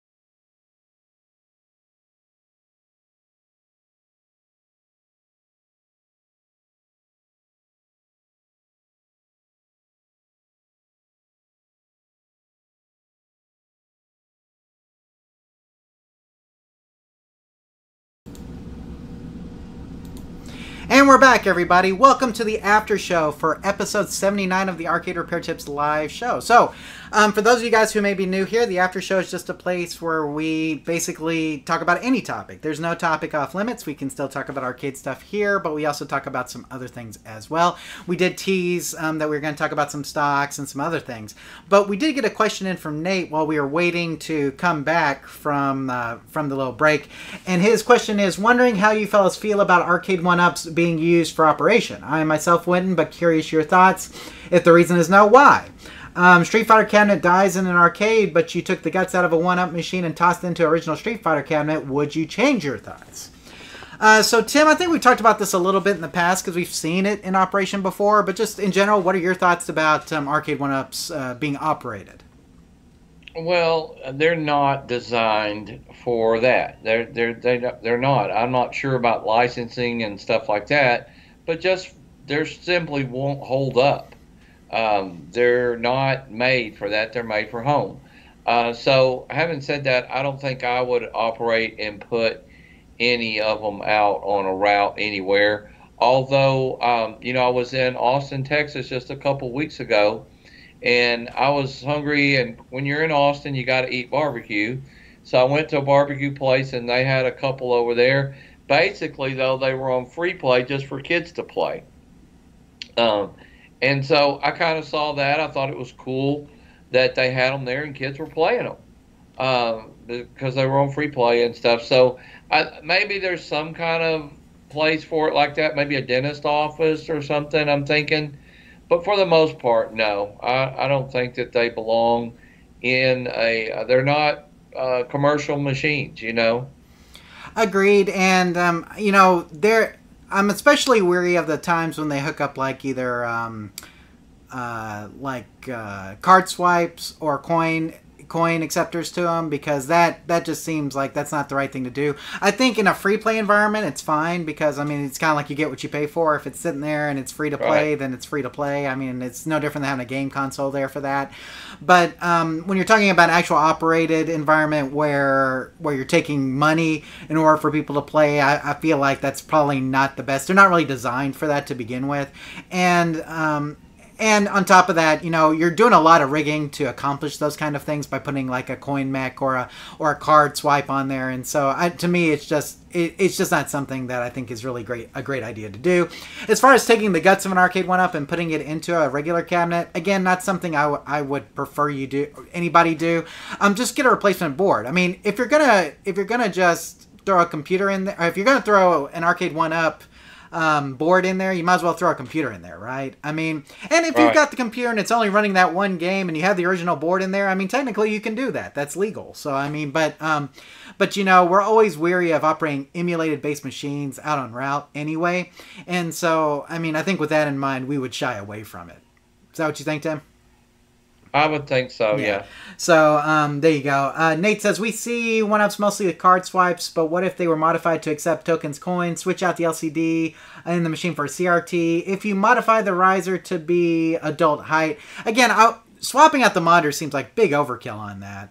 Um, and those cabinet, the cabinets, I don't think would have the space for that. You'd have to have a pretty small CRT to do that. So, um, but um, again, if you're using the original hardware, I don't feel like it's a good idea would be my point. So, um, I mean, right. I mean, is that what you think too, Tim? Yeah, I'm just kind of just not the. They're just not designed, and they won't hold up. Although putting it in the at least original cabinet would solve that issue. You're not going to have everybody just tear the the cabinets. What I would worry about. Um, but I don't know. Just something about it just seems wrong. right, and like I said, I think if it's free and you're just like you say, you got them at a dentist office or you got them at a restaurant, and they're just set up and people can play them if they want. I think that's fine. I mean, like I said, it's no different than having a video game console out. But if you're, um, but if you're charging money for them or you're putting a card swipe on it or it's coin operated, I feel like that's where you start to cross the line a little bit because at that point, it's no longer it's no longer you're basically changing the intention of what it was intended to be, if that makes sense. So, and again, we're not big on putting emulator based systems out on route anyway because i mean there are legal issues with that and so i mean even if it was a computer with a pc in it we or even if it was a cabinet with a pc in it we wouldn't do that any more than we would put you know than we would put um, put a put a cabinet with the guts of a Arcade1Up out there, right? Exactly. So, I mean, um, Nate says he's seeing it more and more um, with legit arcade machines, one or two one ups being upgraded mostly to appeal to younger children and and um, due to the size. Yeah, I mean, like I said, I mean, look, there are people doing it, but I mean, we just it wouldn't be something we would do. I think is the big thing. I mean, if you're asking us what we think. Right. Um, we wouldn't recommend it and we wouldn't do it ourselves, but there are people out there doing it. But I mean, again, I don't think anybody's going to come after you copyright wise, Tim, because I mean, they don't come oh, after wow. 16 board people. There's a lot of people they don't come after. But just because they don't come after you means it's legal. You know what I'm saying? Right. So, I mean, but um, Nate Burke says a sticker sign on the machine, uh, saying it's a one up machine. I've seen plenty of modified machines that no longer even look like one up machines, but still have the guts in them. Yeah, I mean, like I said, I mean, this is uh, because Arcade1Ups are so cheap. Um, you know, some arcades are like, hey, well, we can monetize those. But again, it's not our preference for sure. We would rather run on original hardware whenever possible. Again, we're the same people who always try to keep the CRTs running, right, Tim? Exactly. So I mean, we're the same people who are going to run original hardware whenever possible, um, and we're going to discourage anybody from using emulator-based systems, regardless of if that's Arcade1Up or PCs or anything else. Now, if you're doing it for home use, again, that's different. Um, but if you're doing it in a commercial environment, you need to stick to things that are made for commercial environments for sure. So Agreed. that's what it comes down to. Um, okay, so with that out of the way, Tim, let us go ahead and go to just some personal updates. How was your August? Did you have any back to school things going on? Any fall plans coming up? What's what's going on with you uh, last month and going forward? Well, of course, I've still been traveling a lot, and it's just been dangerously hot. Not just griping because it's hot. Literally, you know, you have to be careful being out in the heat and stuff. Um, so really haven't. Uh, Landon got to come home for his birthday, so got to spend some time with him and his wife and uh, so it was a good month, but still, um, you know, I, I, said I apologize earlier for yawning some. I'm still a little jet lagged and and just have hit the ground running here.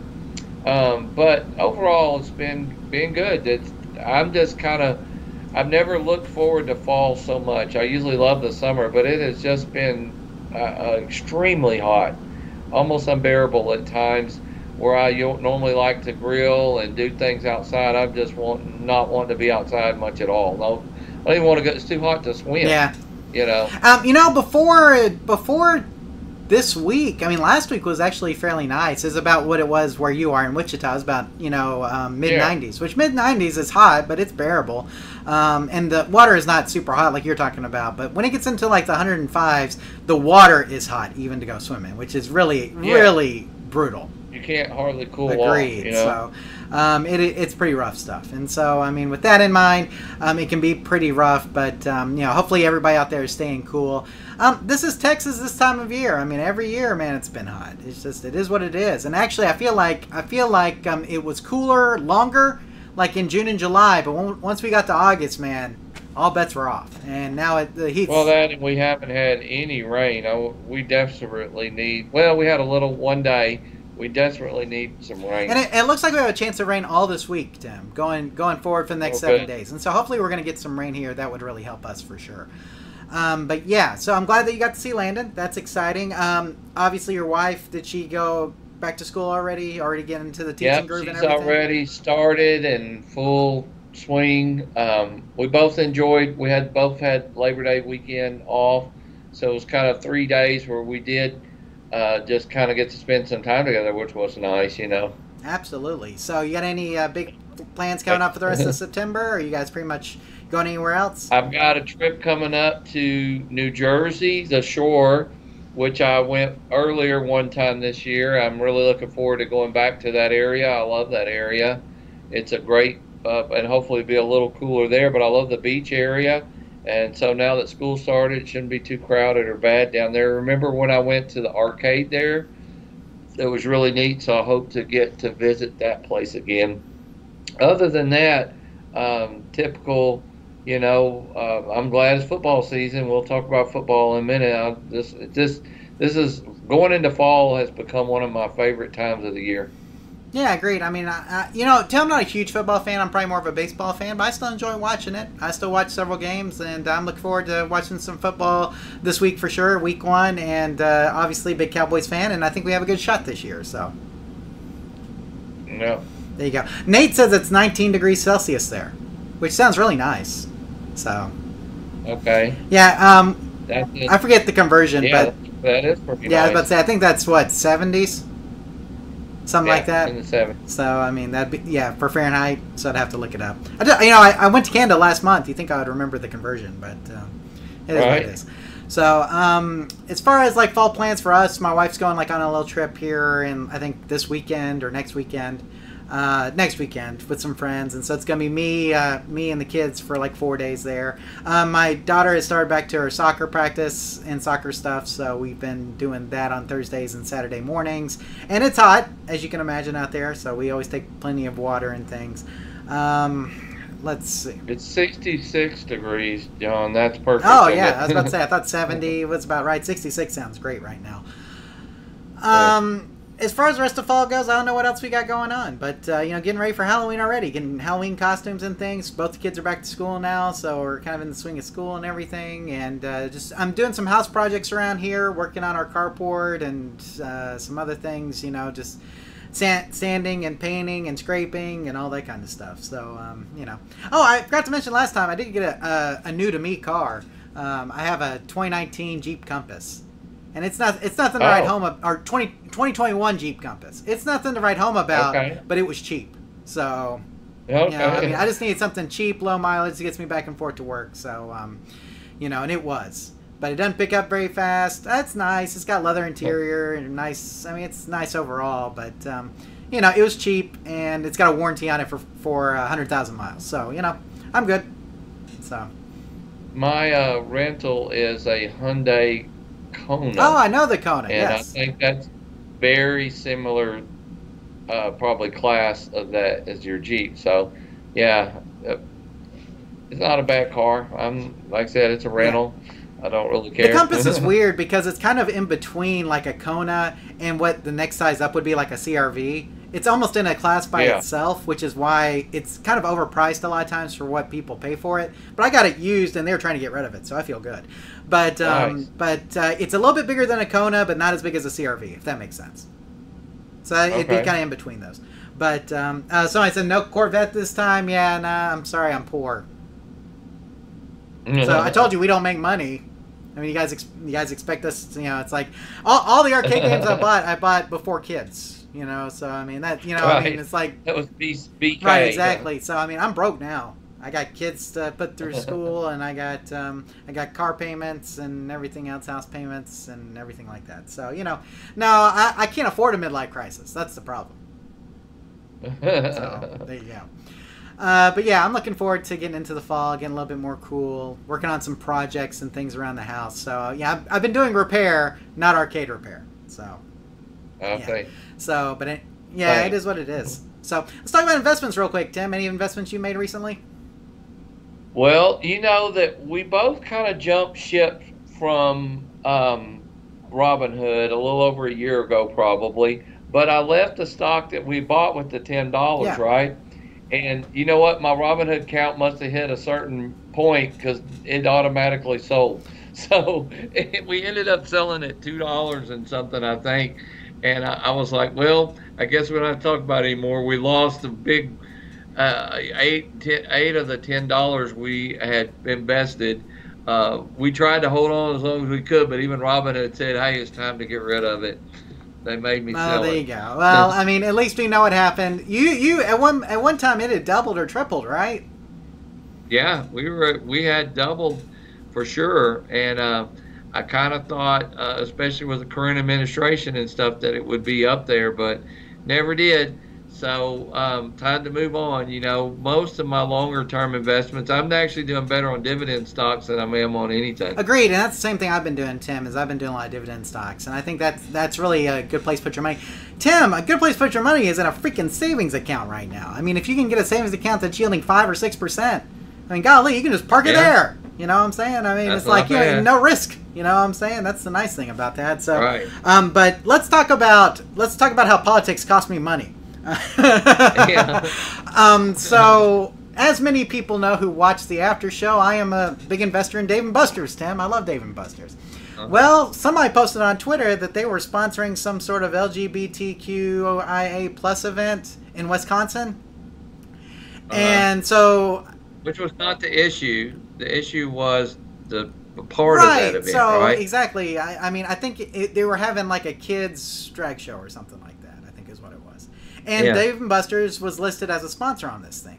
And so all of Twitter went up in uproar saying, Dave and Buster's is awful. Dave and Buster's is terrible. Everybody sell your stock. And on top of that, Tim, they didn't meet the, this fiscal quarter projections. And so oh, right wow. now my yeah, stock is in the toilet. Now it's still worth more than what I paid for it because remember I got in like super duper duper duper duper duper early. Okay? But yeah. I've lost I've lost triple digits in money over the last almost almost four digits worth of money over like the last last month. Wow. So um, but uh, it well and well, maybe a good time for to buy. Yeah, exactly. I might right? just buy in some more. But Dave Buster's came out. They released a statement saying, "Hey, we still support the LGBTQ community, but this event we don't support. We're pulling our sponsorship from the event," which is, I think, a good move on their part. And so that seemed to satisfy the Twitter army of people who were coming after. Okay, and so um, okay, and so, but it didn't help that then they announced that they missed their fiscal quarter projections. That doesn't help. so right. Bad all right, so we got like a double whammy on the stock right now. So all that to say, if you want to get in on Dave and Buster's, now would be a really good time because it's it's trading pretty low, uh, and you can get in at a pretty decent price. I think it's going to go back up. I think the uproar was, I think it was, it was overdone. You know, I mean, it's yeah. like they got in a big, a lot of people got an uproar about it, but I mean, they basically squashed it. I thought they did pretty good with their statement, and so I think it appeased most people. Um, and I do think that they're gonna they're gonna start hitting their projections. But I say that I say that Tim, but it seems like all restaurants are really suffering right now. Yeah, well, you know what? There's a ton of competition out right now too, and a lot of people are shorthanded. There's still labor crisis, so people aren't getting as great a service. So some people are choosing to hit certain restaurants uh, for instance, McDonald's is doing really well because they're still cheap, and everybody else is doubled and tripled in prices. Uh, you know, you can't go to water for the price I can go to Whataburger. I can sit down and eat a really good meal somewhere. And if you know, I want my fast food to be cheap and inexpensive for what it is. Fast, so, so Tim, um, a a manager of a local restaurant posted in one of the Facebook groups. I don't know if you're part of that, and was asking people like, all of us restaurant owners have been seeing a trend where people aren't eating out as much. Why do you think that is? And the, the number one answers were service is not as good as it used to be, ingredients are not as good as they used to be, the food is not prepared as good as it used to be. And I agree with all three of these statements. Um, so it seems like you eat somewhere, especially sit down restaurants, the quality has gone downhill. Um, my wife ordered yeah. some fish at a local place where we like to go eat, and you could tell the fish was overcooked. And I'm like, we paid a right. lot of money for this fish, and it's overcooked. You know, I can cook fish for cheaper and better at home. You know what I'm saying? I don't have to spend all the money if you're not going to prepare it right. You know. Exactly. And so I think a lot of people are in the same boat we are. It's like I can if if if I can cook it better at home than what I'm getting quality wise at restaurants, I'm going to eat at home. And then on top of that, Tim, the service has been suffering. I feel, and it may not be so much that the service is, service is suffering because the people are not as good. It may just be that everywhere is shorthanded, or they're all trying to work on low labor cost. And so when you do that, you're stress out your people, and they stop doing as good of a job just because they're having to juggle like 15 different things, right?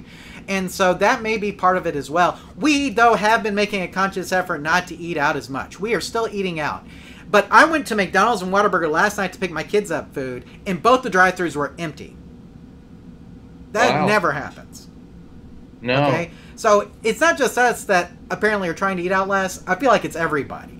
And so I don't know if it's a Maybe money so. thing, if people are just, if things are just tight right now, or if it's um, or what it is. For me, it's always been a health thing. I just I feel better when I eat at home typically, and if I do eat out, I want to eat out healthy if I can.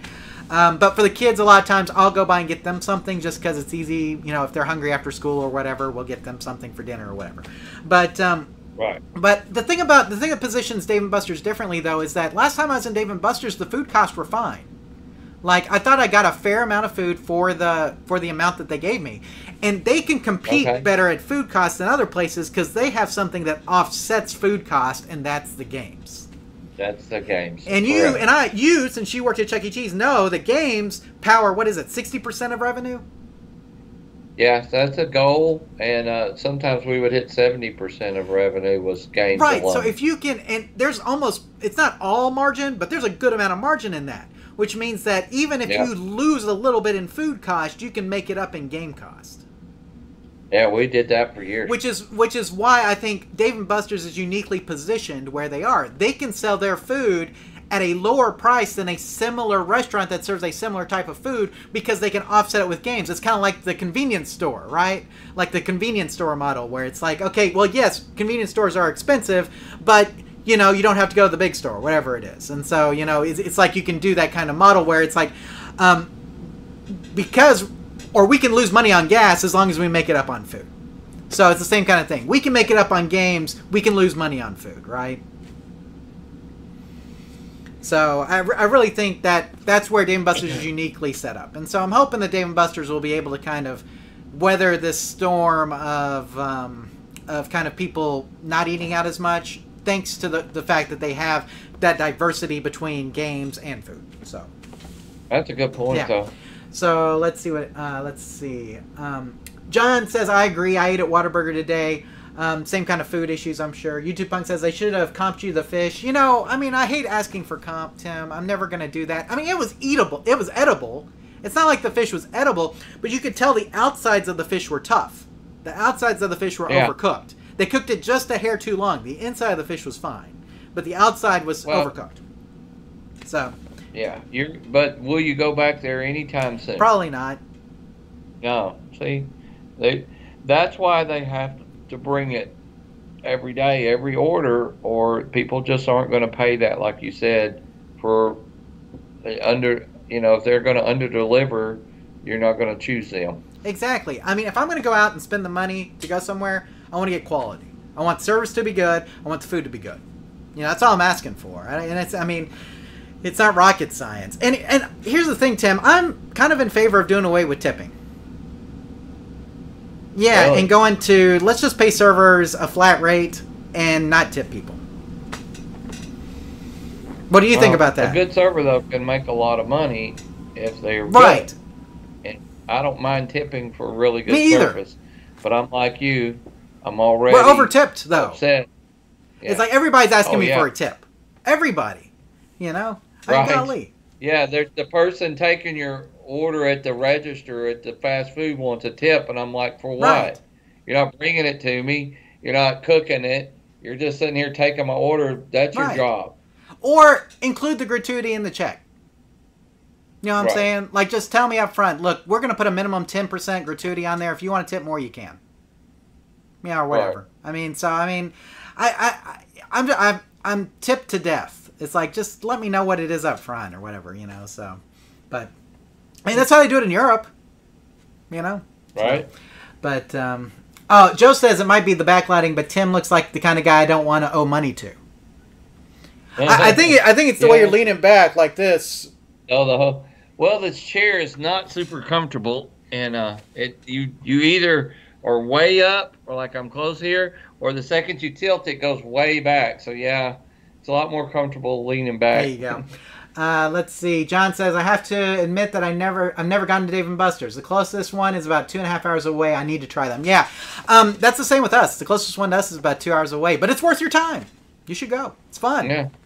The closest one to me is two hours. Yeah, exactly. Uh, I mean, two miles away tonight. So maybe when we wrap up, I'll There go you down go. there. So Dave and Buster's is a great place. And here's the thing: it's for adults more than it is for kids. It's for kids too. That's the cool thing. But it's adult Chuck E. Cheese, and it's fun. Yeah. So I love Dave and Buster's.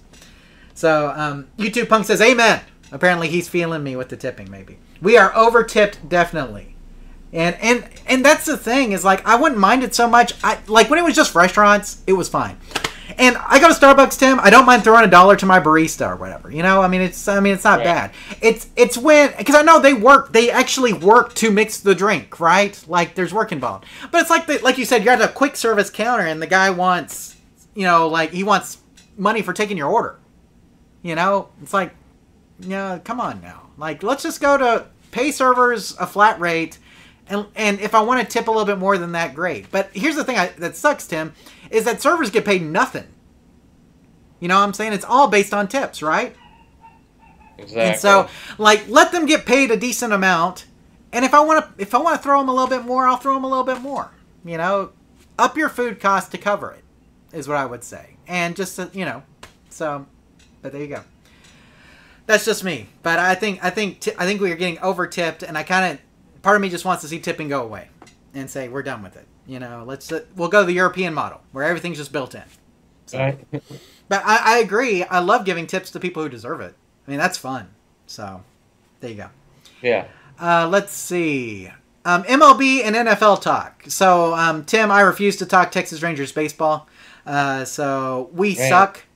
Um, no, no it- I'm glad we're not playing tonight because we would lose. In fact, we may lose tonight to the bye. I don't know. You know, golly, the way we've been playing, I feel. I don't think I would pitch to Altuve. Yeah, exactly. Just of the- intentionally walk him. just walk him every A- time. absolutely. How do you give up four straight home runs to any Yeah. player? After the third, it was kind of like the Cowboys kicker missing extra Right. points.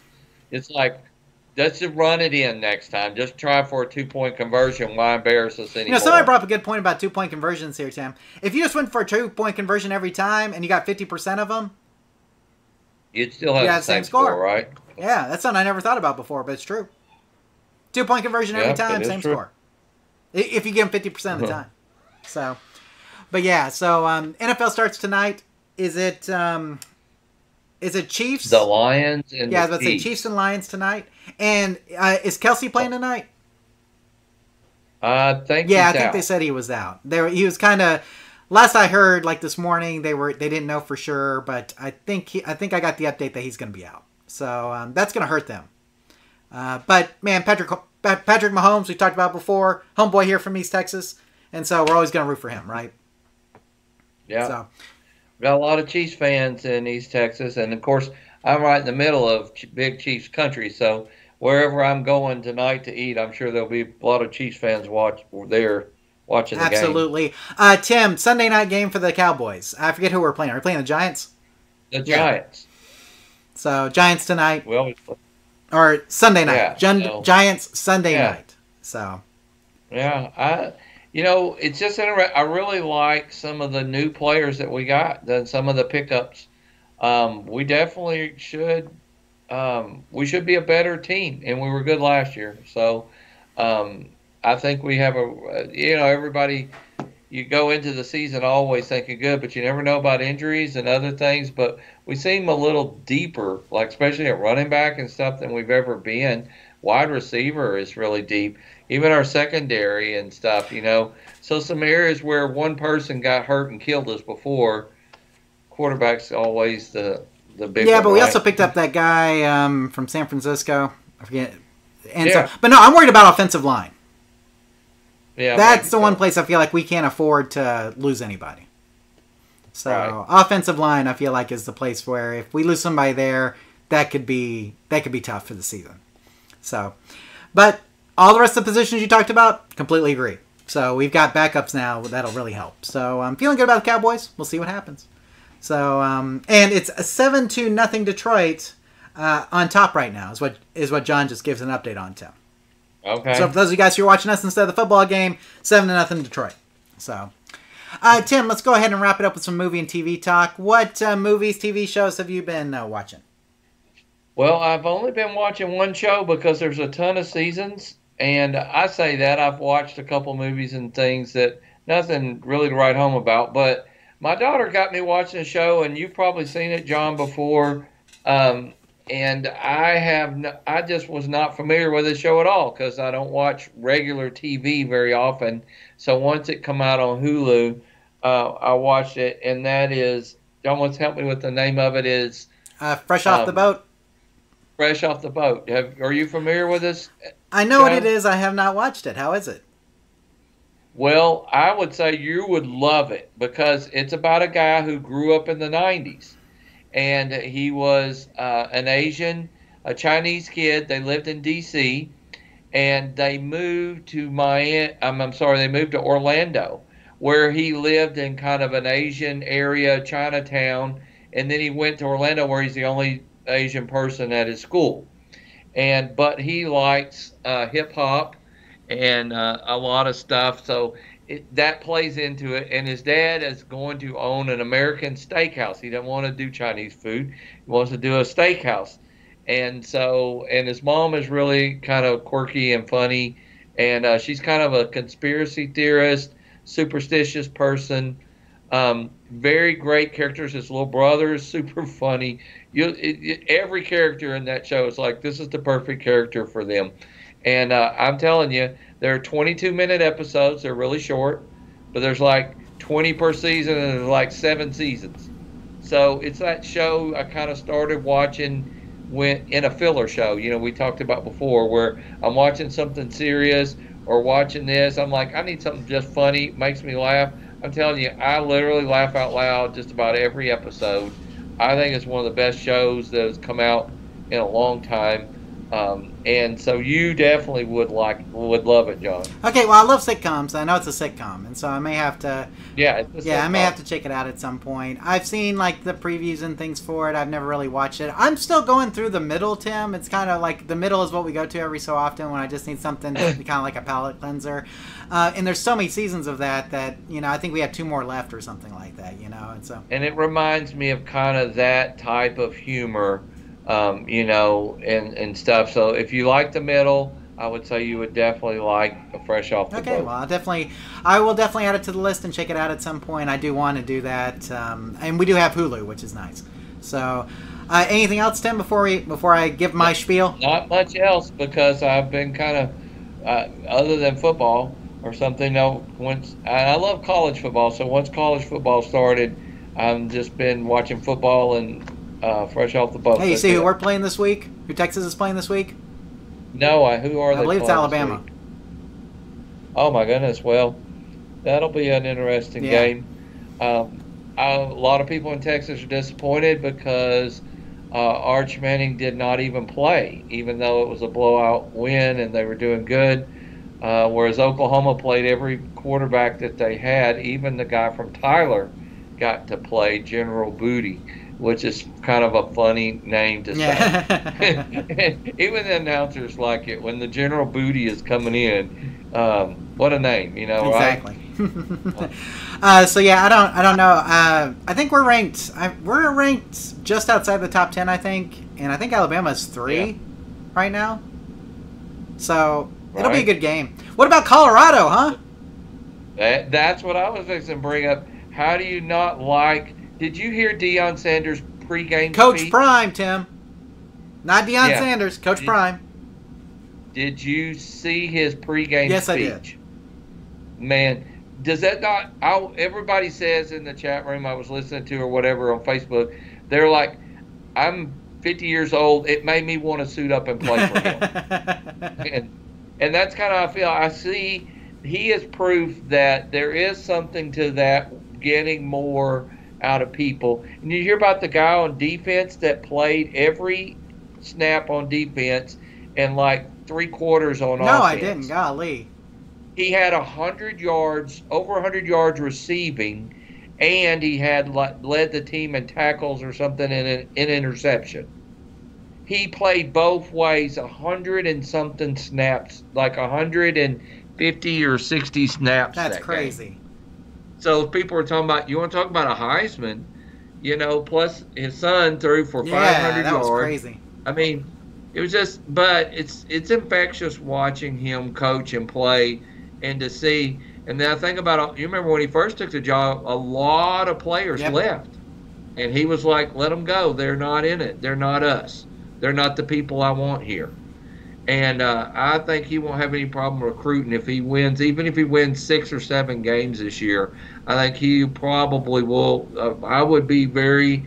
I would. I would want to play him. I can say tell you that much. Yeah, and then of course there were two other upsets that were big in Texas. Tim, we had the Baylor upset and then the Texas Tech upset, right? Yes, um, the the the Baylor upset was really shocking. Um, it's kind of one of those I can't decide. Is Texas State actually a lot better than we give them credit for, or is just Baylor that yeah, bad? exactly. I don't know. And then um, Texas Tech losing, I think, to Wyoming in like double overtime, right? Yeah, that was more evenly matched. Honestly, I I, I didn't. Um, they could have won, should have won the game, but at the same time, I you know, bigger upset would be like Clemson losing, uh, stuff like to uh, who did they lose to, um, Duke. you know, it's like wow, they had beat them in like 30 years. Mm-hmm. You know, so I think it's a balanced year. I think we're going to see a lot of teams. Uh, Georgia, of course, number one team, and, and rightfully so. Uh, LSU not as good as they thought right. they were, and right maybe rightfully so. Florida State maybe a little better uh, than some thought. So I love college football. I think this is going to be a really exciting year. And of course, my team didn't look too shabby. Um, you know, the second string quarterback, uh, the number one player out of ESPN, ESPN number one ranked player, uh, stepped in and went 11 for 11, uh, just playing in a second string role. That's pretty exciting. You know, when you you worry if your main quarterback went down like last year before Texas right. game, and you get stomped. Uh, you want to know now you have a couple of backups that can come in and play just in case. Very deep, very deep squad this year. Lots of playmakers. Sounds good. Well, off the college football real quick, Tim. I'll go ahead and give my movie and TV talk real quick. Um, I watched um, No Hard Feelings with Jennifer Lawrence. Tim, have you seen the previews for that? No. It, yes. Okay, it's based on this premise. That's a real premise. Now the movie's made up, but the, the premise was is that this family was giving away a car for somebody to date their son. That is okay. the premise, and so the um, writer of the movie saw this and basically wrote a whole movie around the concept. But there's Jennifer Lawrence's character needs money. She's kind of down on her luck. She sees the ad that you know if she will date these people's son, that she will get this car for free, basically. And so she wow she goes okay. to start doing it. And so and, and it's hilarious. It's funny. It's very good. I think you know um, it is kind of crude up front but it is funny. So if you're looking for something funny to watch, then uh, you should check out No Hard Feelings.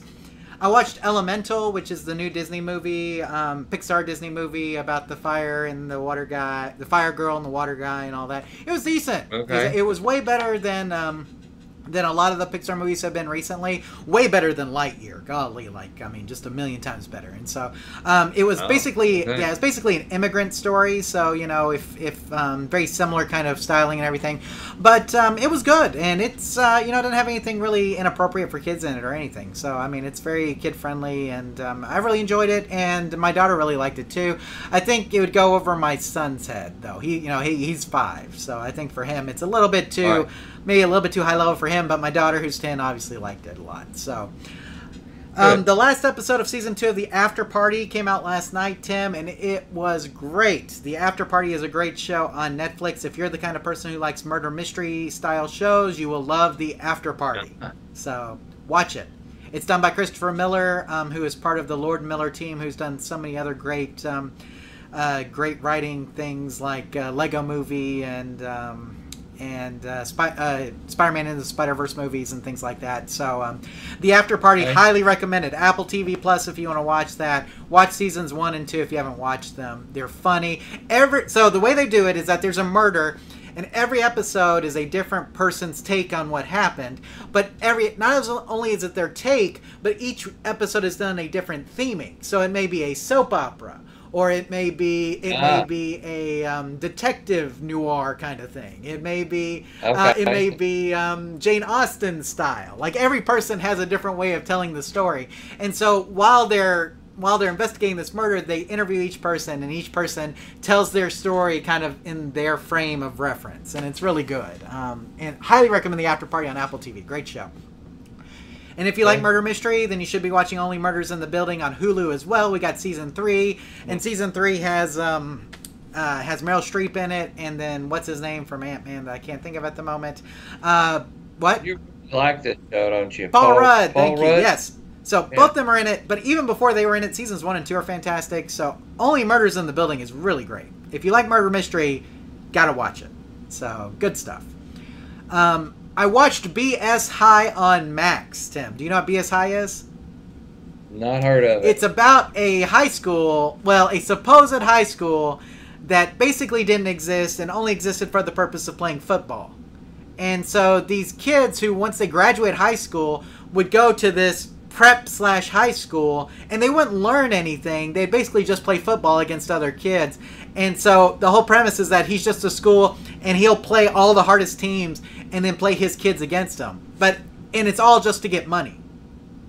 And the guy who runs it's a complete con Oh. artist.